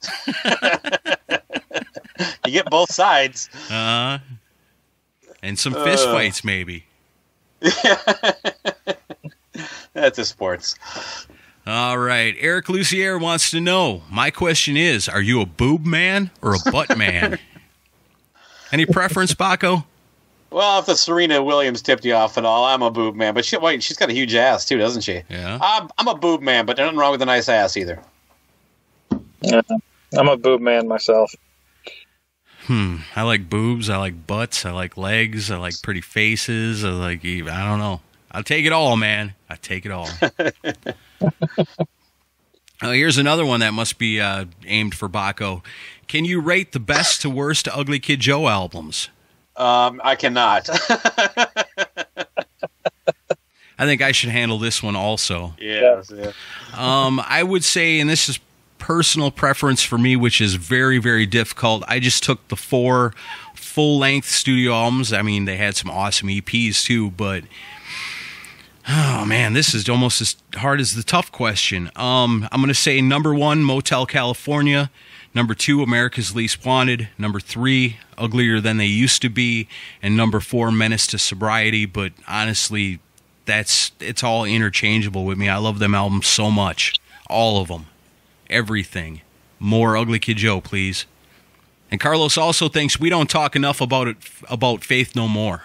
Hey, you just dropped some earlier in the show. I actually did, yeah, because I've been listening. I love Faith No More. Faith No More is one of my all-time favorite bands. You know, they opened for Guns N' Roses and Metallica on that, that kind of ill-fated stadium tour. Yep. um, the one where James burned his hand, and, and I saw the last show that they opened up on that uh, at the Metrodome, um, and uh, he said he announced that they were getting out of the ring. Is how they they said they weren't going to be doing the, the rest of the tour, but uh, they were great. Uh, I love Angel Dust, like you talked about earlier, and um, uh, From Out of Nowhere is, is really good. Uh, and what's the one? Uh, King for a Day, Fool for a Lifetime. I think is is better. Also, there. What was the record they did just a few years ago? Um, I thought that was really good. Again, you know, with Faith No More, with me, it's like it's 50-50. Half of their stuff is weird and I can't get into Sure. it, and then the other half are these really amazing rock songs that I just can't get enough of. And even that new one was the same thing. I mean, that what was the song? Motherfucker, I think it was called. and it's just like dudes screaming motherfucker over and over and over again. It's like, I, well, I can't really get into that. But there's a song on there called Matador that's badass. I mean, every Faith No More album, you've almost got the guarantee that there's going to be at least at least four really killer songs on it. The rest of it might be all weird stuff that nobody understands, but you're always going to get the at least four, usually more great songs on every Faith No More album. I love Mike Patton as a singer too, by the way. Shit, yeah, he's one of the best singers out there. Chris, Faith No More? Uh, I like some stuff. I haven't really dove enough into their catalog to have a great opinion on it. I do like Angel Dust was a CD I had back in the day, and I used to listen to pretty regularly. King for a Day, I do like. Um, the is it the real thing that had the song, the epic song? I, Yeah. that one, That's what I, I called it from out of nowhere. That's actually the opening song. Yeah, Right. sorry. Yeah. Um, but yeah, no, I like some the stuff stuff I like. I really like, but I'm kind of like with Aaron on that, where some stuff's just a little too bizarre for me. And like I, the Mister Bungle stuff, I, I never could get into that stuff. Yeah, same here. They had that song Girls of Porn that was really cool, but a lot of the other stuff was like the stuff on Faith No More that I don't really like. Yeah. What I like about Faith No More is the song off of talking about soundtracks, the Bill and Ted's Bogus Journey soundtrack, Perfect Crime. Great song. is Yeah, an great tune. amazing song. So yeah, definitely love some Faith No More. Mick Watkins wants to know. Mick Watkins of Wild Ride. Give him a like on Facebook. He wants to know what are your thoughts on the new wave of traditional heavy metal movement, and are you guys fans of bands within the scene such as Enforcer, Demon Knight, Haunt, Ambush, and Saber? Oh, we we did an entire episode on the, on this topic. Uh, there's a lot of great bands another on that one. As an enforcer, I like a lot. Uh, what was it the one that on that episode Toledo Steel? Yeah, which they're a band. They're a band from uh, the UK, but they're called Toledo Steel. They're um they're pretty great. There, there's a lot of good stuff in that category if you check it out, and I'm gonna definitely check out some of those on his recommendations because some of those I hadn't heard of before. There, there's a couple of them on that list that I do know. Night Demon is pretty awesome. They've got a really cool video for a song called "Welcome to the Night" that's out there on Yep. the YouTube. That's pretty damn awesome. Enforcer is something else, man. Talk about a great, awesome singer with a cool, unique voice and a lot of power and a lot of range to it. Enforcers like that. It's like this awesome heavy metal band, and this dude can just wail, and they look like Judas Priest from back in the day. That's always a plus for me. And uh, I was going to look up Ambush, and so I thought I did, but it actually came up as, as a rapper that I had no idea. Oh, I thought you were going to come up with some kind of porn uh, thread here. No, no, it was. A, I was looking stuff up on the YouTube on the music, but uh, on yeah, it came up as a yeah, rapper at first. I was like, oh shit, what's this? Oh no, and then I looked it up again and found a song called Hellbiter that is really cool and worth checking out. That's by Ambush. But yeah, I definitely want to check out some of that other stuff. I love it. I love it that, you know, and I try to explain to people all the time when I'm talking to them about podcasts and what we do. And one of my favorite things to say is, you know, yeah, we we pay attention and we we give tribute to all the legends, you know, and we're always going to talk about them. But what most people don't realize is there's a bunch of kids nowadays that are finding their dad's old cassette tapes in the attic, you know, and are discovering some of these bands and are actually there are actually new bands out there that have the spirit and the sound and the style of the stuff that we love from back in the day, you know, and and the new wave of traditional heavy metal is the perfect example of that, you know, and I, I just think it's freaking awesome that there's young, new, fresh bands out there that are just amazing. And some of those bands on that list are definitely definitely fit the bill. You guys got I think other? Haunt, I think Haunt's badass, um, but uh, I'm not familiar with too many of the other ones. I'll check that out too. All right, Jace Shabluski, our good friend, he wants to say, refresh us listeners on how Baco and Luce got together for Cobras. Well, I was at the animal shelter, and um, him and I both wanted to adopt the same pregnant cat, and uh, from that point on, we just struck up a friendship and started a podcast. And started a family. Yeah, we shared the kittens. I yeah. uh, through Decibel Geek, yeah, we were both writers. Um, uh, Luce, uh, and the weird thing is, I don't know. Do you recall, Chris? I actually reached out to you. I was starting to. I had an idea for a podcast that I was going to do called uh, Two Guys in a T-Shirt. Um, now I don't know that I ran the title by you, but I, I, I was asking you for some some uh, just early tips on how to record that kind of thing. Um, and that's, I don't know if you recall that conversation at all, but it was about a, a month after that that uh, actually had recorded an, an, episode or two of Cobras and Fire, and because of, of the writing I had done for Decibel Geek, he he reached out to me uh, because he was a writer too at the time, and just to, to throw it together, we we recorded a couple episodes, and from that point on, uh, I don't know, it's been just magic.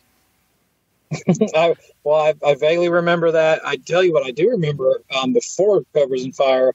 The first time I heard of you was your appearance on Rob's show from Out of Nowhere. Mm, sure. And, and, I remember that's the first time I heard of Jesus Chrysler or any or any of that. And I remember really liking that. And I think did you approach me about writing for the website? I can't remember. I did, yeah. I mean, uh, that's why I'm not currently writing for CGCM. I wasn't recruited by Rich. Uh, is, is, that an okay joke to say?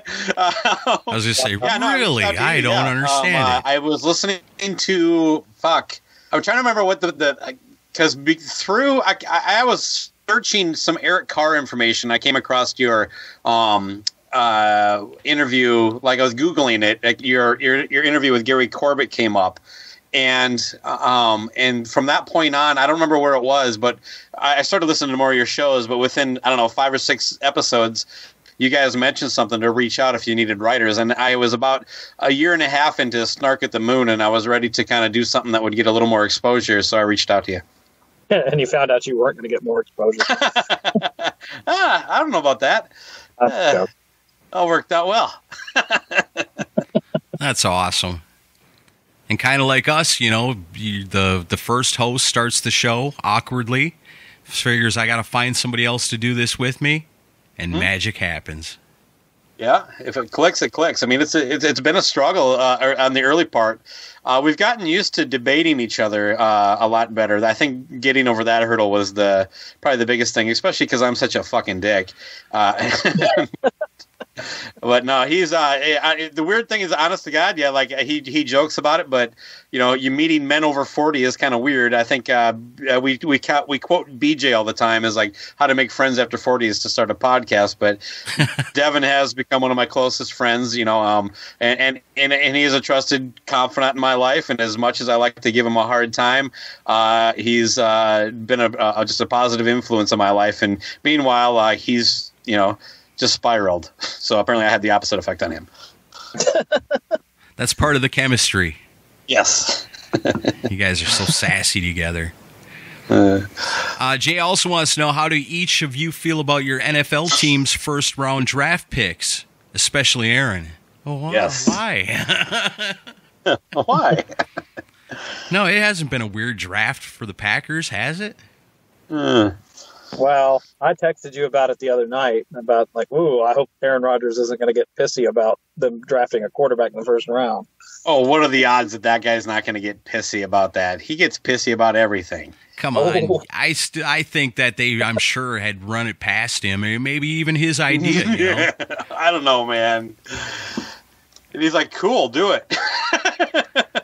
yeah, well, yeah, I mean, think about a guy like Rodgers. You know, how do you extend your legacy? You know, have a have some kid you can bring in and mentor. You know, and then when you're done, the Packers seamlessly go on. You know, just like Every they did from Favre to Rodgers, to, to, then to, to Love their replacement. And then your legacy lives on forever because then that guy becomes a Hall of Fame quarterback too, and he couldn't have done it without you.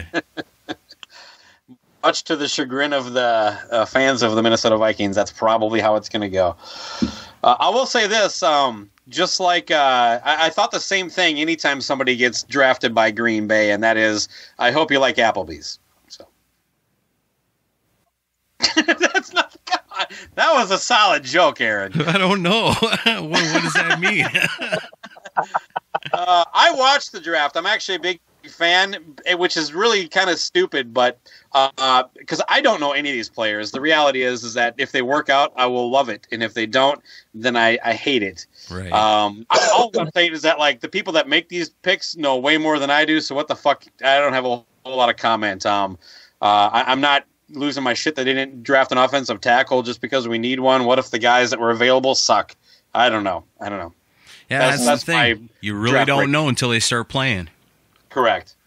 Chris, how'd the Chiefs do? Uh, I I guess I'm okay. I mean, I don't really ever follow college that much, so it's like I'm I'm basing all of my thoughts on basically the the first impressions of what I saw the other night. But we got Clyde Edwards-Helaire from LSU, the running back. I would have taken Swift out of Georgia instead of him, but uh, Patrick Mahomes wanted this guy from LSU, so if he wants him, great. Uh, we drafted a guy named Willie Gay Jr. in the in the second round, which I'm sure will lead to a lot of jokes. And um, he's also he's he's been in trouble for having somebody else do his schoolwork, and he's punched his quarterback. So hopefully um, he doesn't have to worry about school. He doesn't have to worry about schoolwork anymore. But I hope he doesn't try to punch Mahomes in the face. But uh, I don't know. I mean, we got depth. I mean, the Chiefs are still loaded for next year. So um, all of this is depth, in my opinion. So I still I still like our chances to go back and repeat next year. I think the most exciting thing about the Packers draft is the offensive lineman they got from Michigan, Rockin' Jon Runyan. Is he the son of, of Jon Runyan who played for the Titans? I think so. That's cool. Well, and outside of the players you guys named, every other player drafted was selected by the Vikings because they had 205 picks. So That's the way it always goes with the Vikings. Up first in the draft and the most picks. Oh. Oh, did did, Uh, did you guys see the thing about the, the Raiders? They th- this is such such a Raiders thing to happen. They show Jon Gruden sitting in his office during the draft, and his entire draft board is right there behind. oh dear God! I didn't hear that. That's surprising. Yeah, well, not not for the Raiders. It's not. I did notice that Jon Gruden's gut has gotten bigger, and I thought I was looking at myself. I saw your post about that. I was like, the giant head, ill-fitting hat, and a beer gut. That's Day in the life. yeah. All he's, uh, right. a, he's got a better bank account than I do. Well, since we came here to talk about rock and roll and not football, James West has got a good question to get us out of it. Favorite band from the big four thrash bands, and if you could replace one band, who would it be with? So I guess if Slayer's retired, who goes into hmm. that spot? And I think it's easy and it's obviously overkill. Nope. No? I, I would put I would put Testament. I was going to say, if it's not overkill, it's got to be Testament, right? Yeah, and I would definitely drop Slayer. I've never been a fan. Oh, Slayer is my favorite. Um, I would probably it just uh, it's it, it sounds stupid because they're gigantic, but out of those four, I would drop Metallica, and I would probably slide in Testament, but only because he asked me to. I would not. I would keep Metallica over Testament, but I'm okay with the overkill overkill pick too. To be honest with you, but I don't know. The My big favorite- four does seem pretty much. It, it makes sense no matter how you feel about you know any of the given bands. They are the four big ones. Right. Yeah, my fa- my favorite is always going to be Anthrax, though. And I know their their career is pretty spotty throughout the all the lineup changes and everything, but I I still love them. Yeah, same here. I, I- I love them all, I honestly. do I, too. mean, Yeah, it's hard to pick a favorite or a least favorite out of that group because I do love all those bands. Um, you know, Slayer has had a stellar career. Metallica, you can't argue with that. Anthrax, to a lesser extent, but still great. Megadeth, same thing. Hmm, I guess if and I, had to pick, I saw one, Overkill for the first time this year. It was fucking amazing. Great otherwise, band. Otherwise, if Overkill and Testament wasn't available, maybe I'd put in Suicidal Tendencies. Okay. But we did an episode about that a long, long time ago. But that was a fun one. Yeah, Uh, let's see. Uh, another one from James West. Favorite metal and rock bands from each decade until now, 60s onward.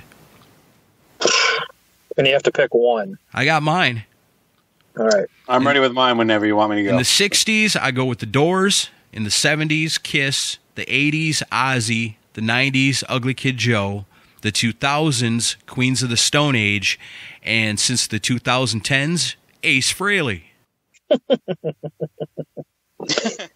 Hey, he's put out three albums since 2010. oh man, so many of mine are so so many of my favorites are like lumped into the same decades. So this is hard. Um, right, that's the thing. I guess '60s, I would say Jimi Hendrix Experience. '70s, I'm gonna mix it up because I got into Kiss in the '80s. So I'll say for the '70s, uh, Alice Cooper. For the '80s, Kiss. For the '90s, shit, uh, Pantera. 2000. And who gives a fuck after that? Uh, I, for the '60s, I'm gonna go with Sabbath. Their first record was '69, correct? Because I Yeah. kind of did what you were doing with Kiss there. I wanted to get both of them in there. So '70s is Kiss for me. '80s would be Slayer. Um, '90s would be Soundgarden. I had nothing for the 2000s, but you just mentioned Queens of the Stone Age, Aaron. So I'm gonna uh, join you on that. And for the last decade, it would have to be the Glorious Sons. Oh, and I'll say for the last decade, Eclipse. Uh, That's a good one Yeah. too. That's good. It's tough to break it down like that, Yeah. even if you're going to squeak Sabbath into the 60s. Well, it does say metal and rock. You know, I mean, I was I wasn't really comfortable with uh, the Beatles being. You know, I don't know. I guess they're rock, but I don't know. They got their I really, moments. I really just wanted to get Sabbath in there. yeah. All right. Grayson Galagos wants to know if you were a street fighter, what would your theme song be and why? Hmm. Uh, I'd go with Street Fighting Man, but it would be the Ace Frehley version. Wow. I don't know. That's just off the top of my head. That's a tough one. It's kind of like I'm thinking of like wrestling theme songs too. What would be a good thing to the way of the ring? I, I actually I know what I, I would probably the it would only be it would be the breakdown part in Domination by Pantera at the end. Oh yeah, better get out there and get fighting quick then. Yeah. Yeah, that's a good one to have in your head while you're fighting for sure. Um, just think of the song "Fight" by GWAR. That's just you know, just kind of make you want to beat somebody's brains in. You go. I just wanna by Kiss and kind of rechange the lyrics a little bit. Like I just want to fuck you up. I was gonna say you That's could do, really cheesy, You could but do that's "Read My Body" so you're nice and agitated for the fight. Yeah, but you're walking. You're going to go into a street fight with the line, "I've got a body built for sin and an appetite for passion." Well, like I said, you can rework the lyrics a little bit. You know, Yeah, you Got a have to. body built for sin and an appetite for uh, kicking ass or something. I don't know. Violence. Got a body built for sin and an appetite for violence. There you go. I don't know. That's a good way to get inside your opponent's head, though. If you just leave it the way it is, they won't know what the hell's coming at them.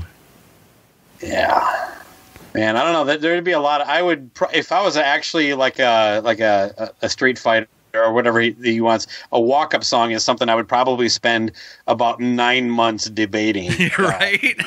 yeah, the way I look at that kind of stuff, you know. Yeah, even doing the wrestling stuff, it took me forever, but eventually, what I've settled on is Cherokee Boogie by Ace Frehley. Mm, nice. That's what I use every time. That's off that uh, "Smell the Fuzz" record, right? Uh huh. Yeah, that's a pretty cool album. I like that. That's when I first realized Billy Corgan was actually a pretty damn good guitar player. Is when I heard that. Mm, nice.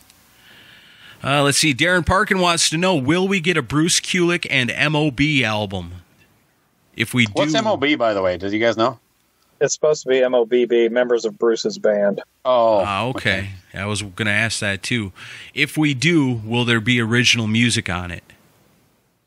Chris, what's that's- the word on that? It'll only happen with original music. I don't. I'm, but I, my guess is probably not. What do you guys think? Well, he was he he did an interview this week with uh, Mike Brun on his show, and he actually said that they were actually supposed to be in the studio this month to record together. So um, Oh, it's definitely being it's being worked on. It's just a matter of when they can get together and do it. and is it um, original music? He didn't say, but I I, I would think that it is. so is that with guys from the band that he played with on the cruise? Yeah, same guys. Nice, but not Bob. no, not Bob. Bob's Uh, not. Bob's not going to be in the band anymore. That sucks. Once again, he gets fucked. Again. Easy Bob has to fucking go home without nothing. It's almost baseball season. He'll be okay. Okay. You know, one other thing I always thought about Bruce Kulick, which I thought would be cool, but has never happened, and I doubt it'll ever happen, is if they took the current lineup of Grand Funk and did a new album with Bruce playing on it. Hmm. You I know know, people have wanted that for a long time. do it in the vein of what what should this be as far as a Grand Funk album. You know, try to write it in the vein of you know the way if if Grand Funk the originals were going to release an album, what would the songs be like in 2020? Yeah, I know that he's uh, been asked that in interviews, and he, I think he's game for it, but I think the rest of the guys in the band just don't see a point in doing it. Yeah. Well, because that's because he replaced the guy that writes songs. yeah, that's true. Mark Farner's not in the band anymore. Yeah. Yeah, I guess it would be kind of tough then to you know replicate some classic Grand Funk without him. I think Mark Farner and Ace Frehley should start a band. I'd see that. I was waiting for a punchline. I didn't know if there was going to be one. Like, yeah, fuck Bruce Kulick is what the band's called. Couple of questions left, and then it's game show time. Nice. Um, Jeff Reed wants to know best Ozzy guitarist. Is it Randy Rhoads, Jakey Lee, or Zakk Wylde? Oh, no Joe Holmes option, huh? Um, I think when you got these uh, three on the list, that goes without saying. I'd, well, what about I'd, Andrew Watt? oh God, um, I think you got to go with Randy to to this day. I love them all though. I yeah. think as a player, God, man, it's it's it's really close because they're all amazing. I do think Randy's probably the best player, but Jakey Lee, hands down to me, was the best fit in Ozzy, and I know that's sacrilege to a lot of people. And um, or, I don't know, man, maybe not because Zakk really seems to gel with Ozzy. Ah, you can't go wrong with any of them. But my personal favorite favorite is Jake. Jakey Lee. That's, Jakey that's tough, man. That's a hard one because each one of them is perfect for their own era of the band, you know. And up to this point, you know, Ozzy's guitarist was probably the most coveted spot in rock because it's a legendary position to be in. But man, if I'm looking at the albums that they all played on, I just could never walk away from those Randy Rhoads albums. So I'm going with Randy. Okay. All right, so here's one that is definitely for Baco. And it's from Andrew Jacobs. After the stay at home order is lifted, will there be any more Chipotle challenges? And while the order is in effect, will there be virtual Chipotle challenges? Possibly with Chris and Aaron. Um, well, you can't virtually do it. Well, maybe explain what a Chipotle challenge is, to- is. Okay, well, the, the Chipotle challenge was uh, uh, an idea I threw out on the podcast where um, you basically go to a Chipotle restaurant, but you only drink beer. You don't order food. You don't do anything other than, and you, you drink as many beers as they'll sell you, and and to see if there's like a point where they cut you off and see how they react, that kind of thing. So we did one with um, uh, Gene Vogel and Andy Shaw. Uh, and I recorded the whole thing on like a little Zoom recorder, and we threw it up as kind of bonus footage, unedited, all that good stuff. Um, but you can't really because the whole point of it is to just be out there in the public in a situation where the, the reason it appealed to me is because like it's ridiculous to go to a Chipotle and get drunk, and, and yeah, and that was what it, uh, I thought was attractive about it. Um, and so that you can't really do that virtually. Um, as to will there be more, if he's asking me if I'll go day drinking with Andy and Gene again at any time, uh, we're all local here and uh, they're good friends. But I would, I, I, initially, and I, I, continue to throw it out there. I'm open to anybody doing their own Chipotle challenges. And Andrew, if you if you find a way to, re- if you do it and you find a way to record it, send me the audio. We'll throw it up as bonus footage. You know what I mean? Uh, or, a bonus episode. Uh, and and that's for anybody out there. Honestly, it, it was, what's the worst thing that could happen? You have a few beers with some friends, so and get kicked out of Chipotle. I was disappointed. Like Chipotle employees didn't bat an eye. It was the customers. Once the beer empties started piling up, that they were the ones that were like, huh, "What's going on over there? It's two in the afternoon. Look at those guys." But uh, yeah, uh, I love the, the part where you talk about you talk about the guy giving you, you the stink eye. it definitely happened. That's funny. All right, and the final question for this quarantine session comes to us from my favorite comedian, Courtney Cronin Dold. And this one's also for you, Baco. She wants to know Will Jesus Chrysler have a song about quarantine coming out anytime soon? Well, Courtney, that's a great question, um, as Eddie Trunk would like to say. Um, if you guys, there is actually a song we're working on. If if if you if it's okay, I'll, I'll give you just a sample of it right now. Yeah, You please. Yeah, yeah. All right, here we go. All right, it's called the Quarantine Age Blues. I can keep my hands clean, but it won't wash my dirty mind.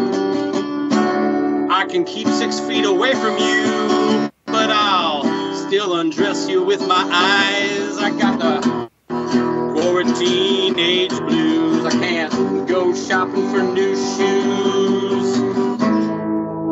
Quarantine age blues. That's, that's it for now. It's a little bit of a departure for us, but Wow. It's, uh, World podcast premiere. there you go. Yeah, nothing will ever top the Maggie May Vinnie Vincent cover, though. Oh, yeah. That, That was, was- that was, uh, awesome. that was so about- funny. I played it for my wife, and even she thought it was funny. I actually made a scene at work laughing in my cubicle at that song. uh, uh, that, that, that warms the cockles. Yeah. I'm Yeah, glad that was definitely liked- what had yeah, me cracking up, too. On that, so. Too funny. Well, I guess while we're talking about music, it's a good time for me to remember to tell you that all the music you're hearing today is from the brand new Fargo Strut album. All the music you're hearing except for what you just heard just then. But the intro music, I'm going to play a full track on the way out of the show.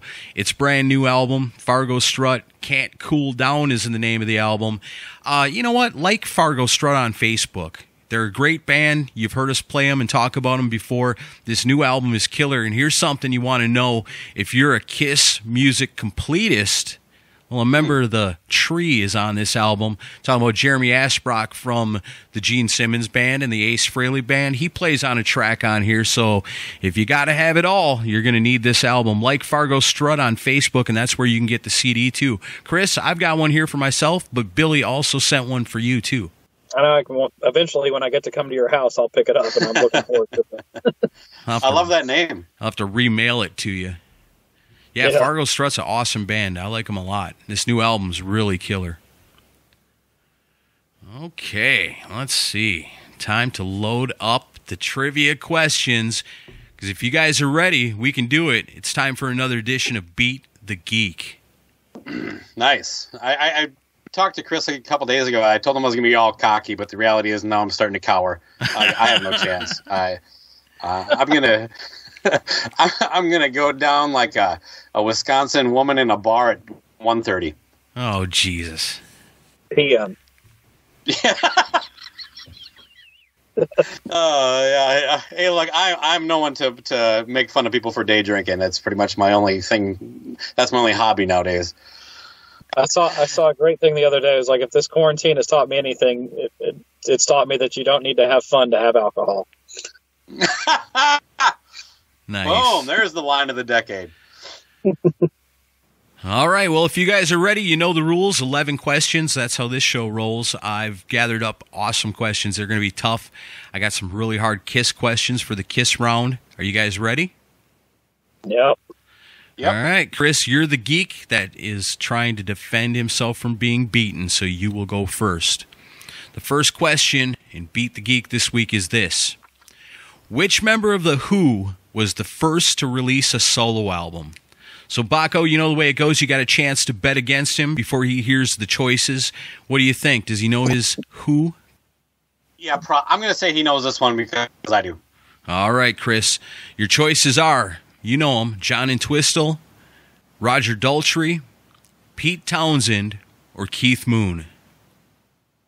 It's going to be a total guess on my part. I don't know a lot about the Who. Um, I'll say Pete Townshend. That is incorrect.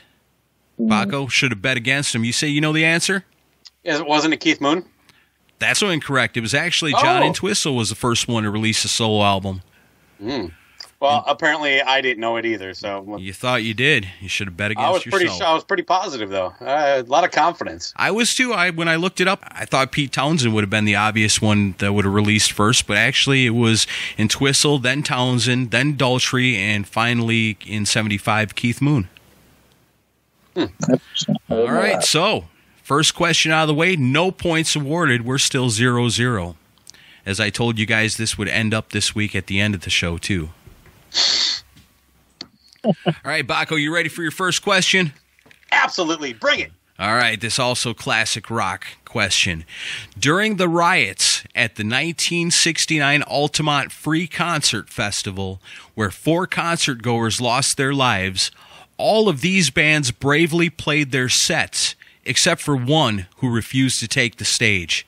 Chris, do you think Baco knows it? Uh, I'm not sure if he knows it. I know this one. Um, I'll say he knows it. All right, he's not betting against you, Baco. Your choices.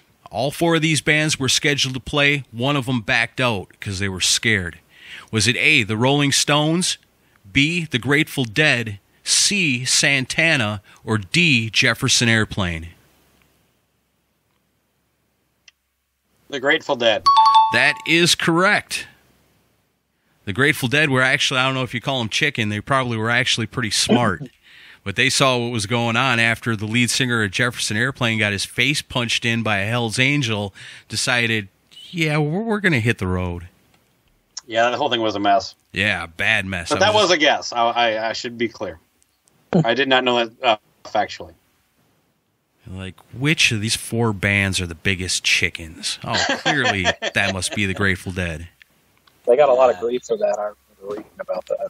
The show must go on is how most bands approach this stuff. Uh, at least they did. Right. And they could have maybe helped the situation, could have maybe got everyone to calm down or leave. or leave. You know, there's- yeah. If, you, even if you're not on acid, they probably would have just left. well, unfortunately, everyone there was on acid. Oh, okay. Well, All right. Well, you got a point off of that because Chris did not bet against you. Now you're in the lead with one point, and it is Chris's turn. Chris, you ready? Yep. All right. Let's move into the 80s with these. Which of the following albums does not feature keyboard legend Don Airey? Baco, does, he, does Chris know his Don Airey? I'm going to go no. All right, Chris, he's betting against you. Two points on the line. Your choices are Rainbow, Difficult to Cure, Ozzy, Blizzard of Oz, Black Sabbath, Never Say Die, or Dio, Holy Diver. I'm going to say Dio Holy Diver. That is correct. And since Baco I bet after against you you, said that, I was like, can I change it? if you know Dio's lineup, you already had a keyboard player. uh, well, technically on Holy Diver, it was Jimmy Bain playing keyboards. It wasn't until the next It album. wasn't Claude? It wasn't until the next album that Claude Schnell came on. Fair enough. You, So you- regardless, You points read into it too far. I consider shit like that when I write these questions. You are very good.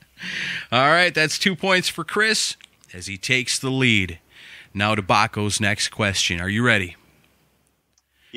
In 1985, Tina Turner won the Grammy for Best Female Rock Vocal Performance. All of the following were also nominated, except, got four ladies here. Three of them were nominated, one was not. Chris, does Baco know this one? Uh, I'll say he knows it. All right, not betting against you. Baco, your choices are Bonnie Tyler, Lita Ford, Stevie Nicks, Wendy O. Williams. What was the category? Grammy for the Best Female Rock Vocal Performance in 1985. Um, Wendy O. Williams. That is incorrect. Wendy O. Williams actually was nominated along with Oh, Lita Ford Lita? and Bonnie Tyler. Stevie Nicks was the one. Uh, that's a good question. All right, so Chris Yeah, did not bet against you. Believe it or not, Wendy O. Williams was Grammy was nominated for a Grammy, and no points awarded. So the score remains You know I to took one. the bait. That was just too obvious that it couldn't have been wrong. Yeah, there you go. Hmm. My All right. bad. Good question, Aaron. Thank you. All right, Chris, your turn. Number five. This future member of the cult is mentioned in the lyrics of the 1989 Anthrax song "Friggin' in the Riggin'." Baco, does he know his Anthrax? Yes. All right, Chris, your choices are Matt Sorum, James Kottak, John Tempesta, Chris Wyse. Was it John Tempesta? That is correct. Yes. Because Tempesta was a roadie for Anthrax. So, yeah. Oh, that was a hard question, though. All right. Not making him easy for Beat the Geek. Score now is 3 to 1, Chris, but it's Baco's turn. Actress Emma Roberts is known for her roles on American Horror Story and playing the role of Nancy Drew in the 2007 movie. She's also the stepdaughter of this rocker. Chris, does Baco know the answer to who is Emma Roberts' stepdad? Uh, I'll say he knows it. All right, he's not betting against you, Baco. Your choices are James LoMenzo of White Lion, Warren DeMartini of Ratt, Kelly Nickels of LA Guns, or Danny Stag of Kingdom Come. Oh man, Do you know who Emma Roberts is? I do. Uh, can I get the three names, uh, the four names again? Yep. James LoMenzo of White Lion, Warren DeMartini of Ratt, Kelly Nickels of LA Guns, or Danny Stag of Kingdom Come. Um, Danny Stag. That is incorrect. The correct answer is Kelly Nickels of LA Guns is Emma Roberts' stepdad. Wow. The things you learn during Beat the Geek. useless, useless things. No points awarded. All right. well, that brings us back to Chris for question number seven. The demos that got the Sea Hags signed to Chrysalis Records in 1988 were co produced by Sylvia Massy and this successful guitarist. Baco, this is pretty obscure. You think he knows it? Well, I got. I got to start trying to get some points. I'm going to say no. All right, Chris, pressure's on. Baco's betting against you. Your choices are this Izzy Stradlin, Kirk Hammett, Joe Perry, or Yngwie Malmsteen. Who was a strong supporter of the Sea Hags? I know there's like a lot of ties to Guns N' Roses with this band, so I'm going to say Izzy Stradlin. That is incorrect, believe it or not. The co producer on the Sea Hags demos was Kirk Hammett of Metallica. Wow, that's a hard question. All right. Since Baco bet against you and you got it wrong, Baco gets a point. Smart move right there because it brings you back two to three. And if you heard that noise, then you know it's time for the kiss round. Baco, are you ready for your kiss round question? I am.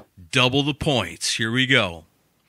On Kiss's 1979 Return of Kiss tour for the Dynasty album, the band only played one British Columbia date in Vancouver.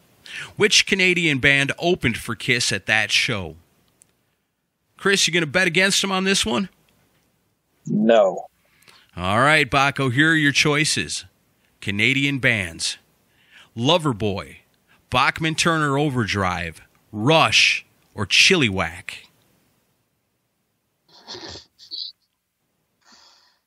Um, Loverboy.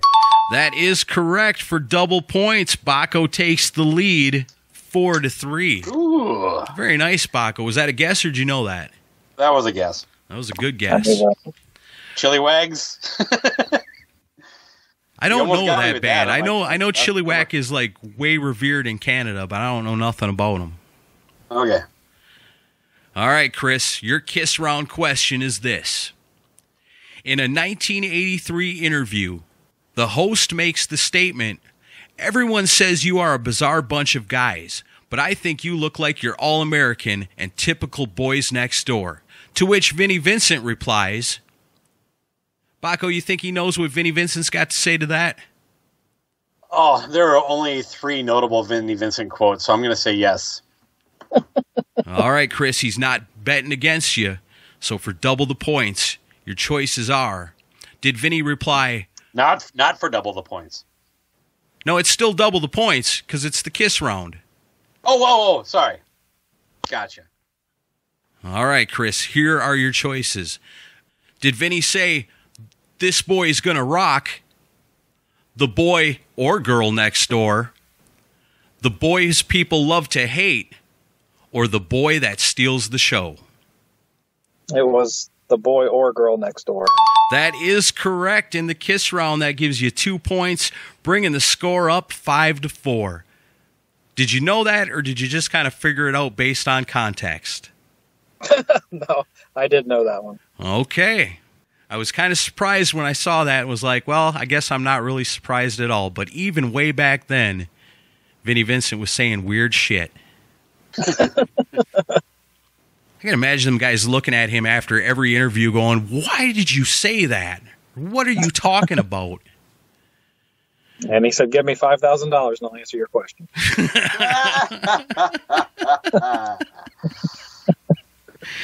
All right, well, this is a damn close game. The score is five to four coming out of the kiss round with Chris ahead by only one point.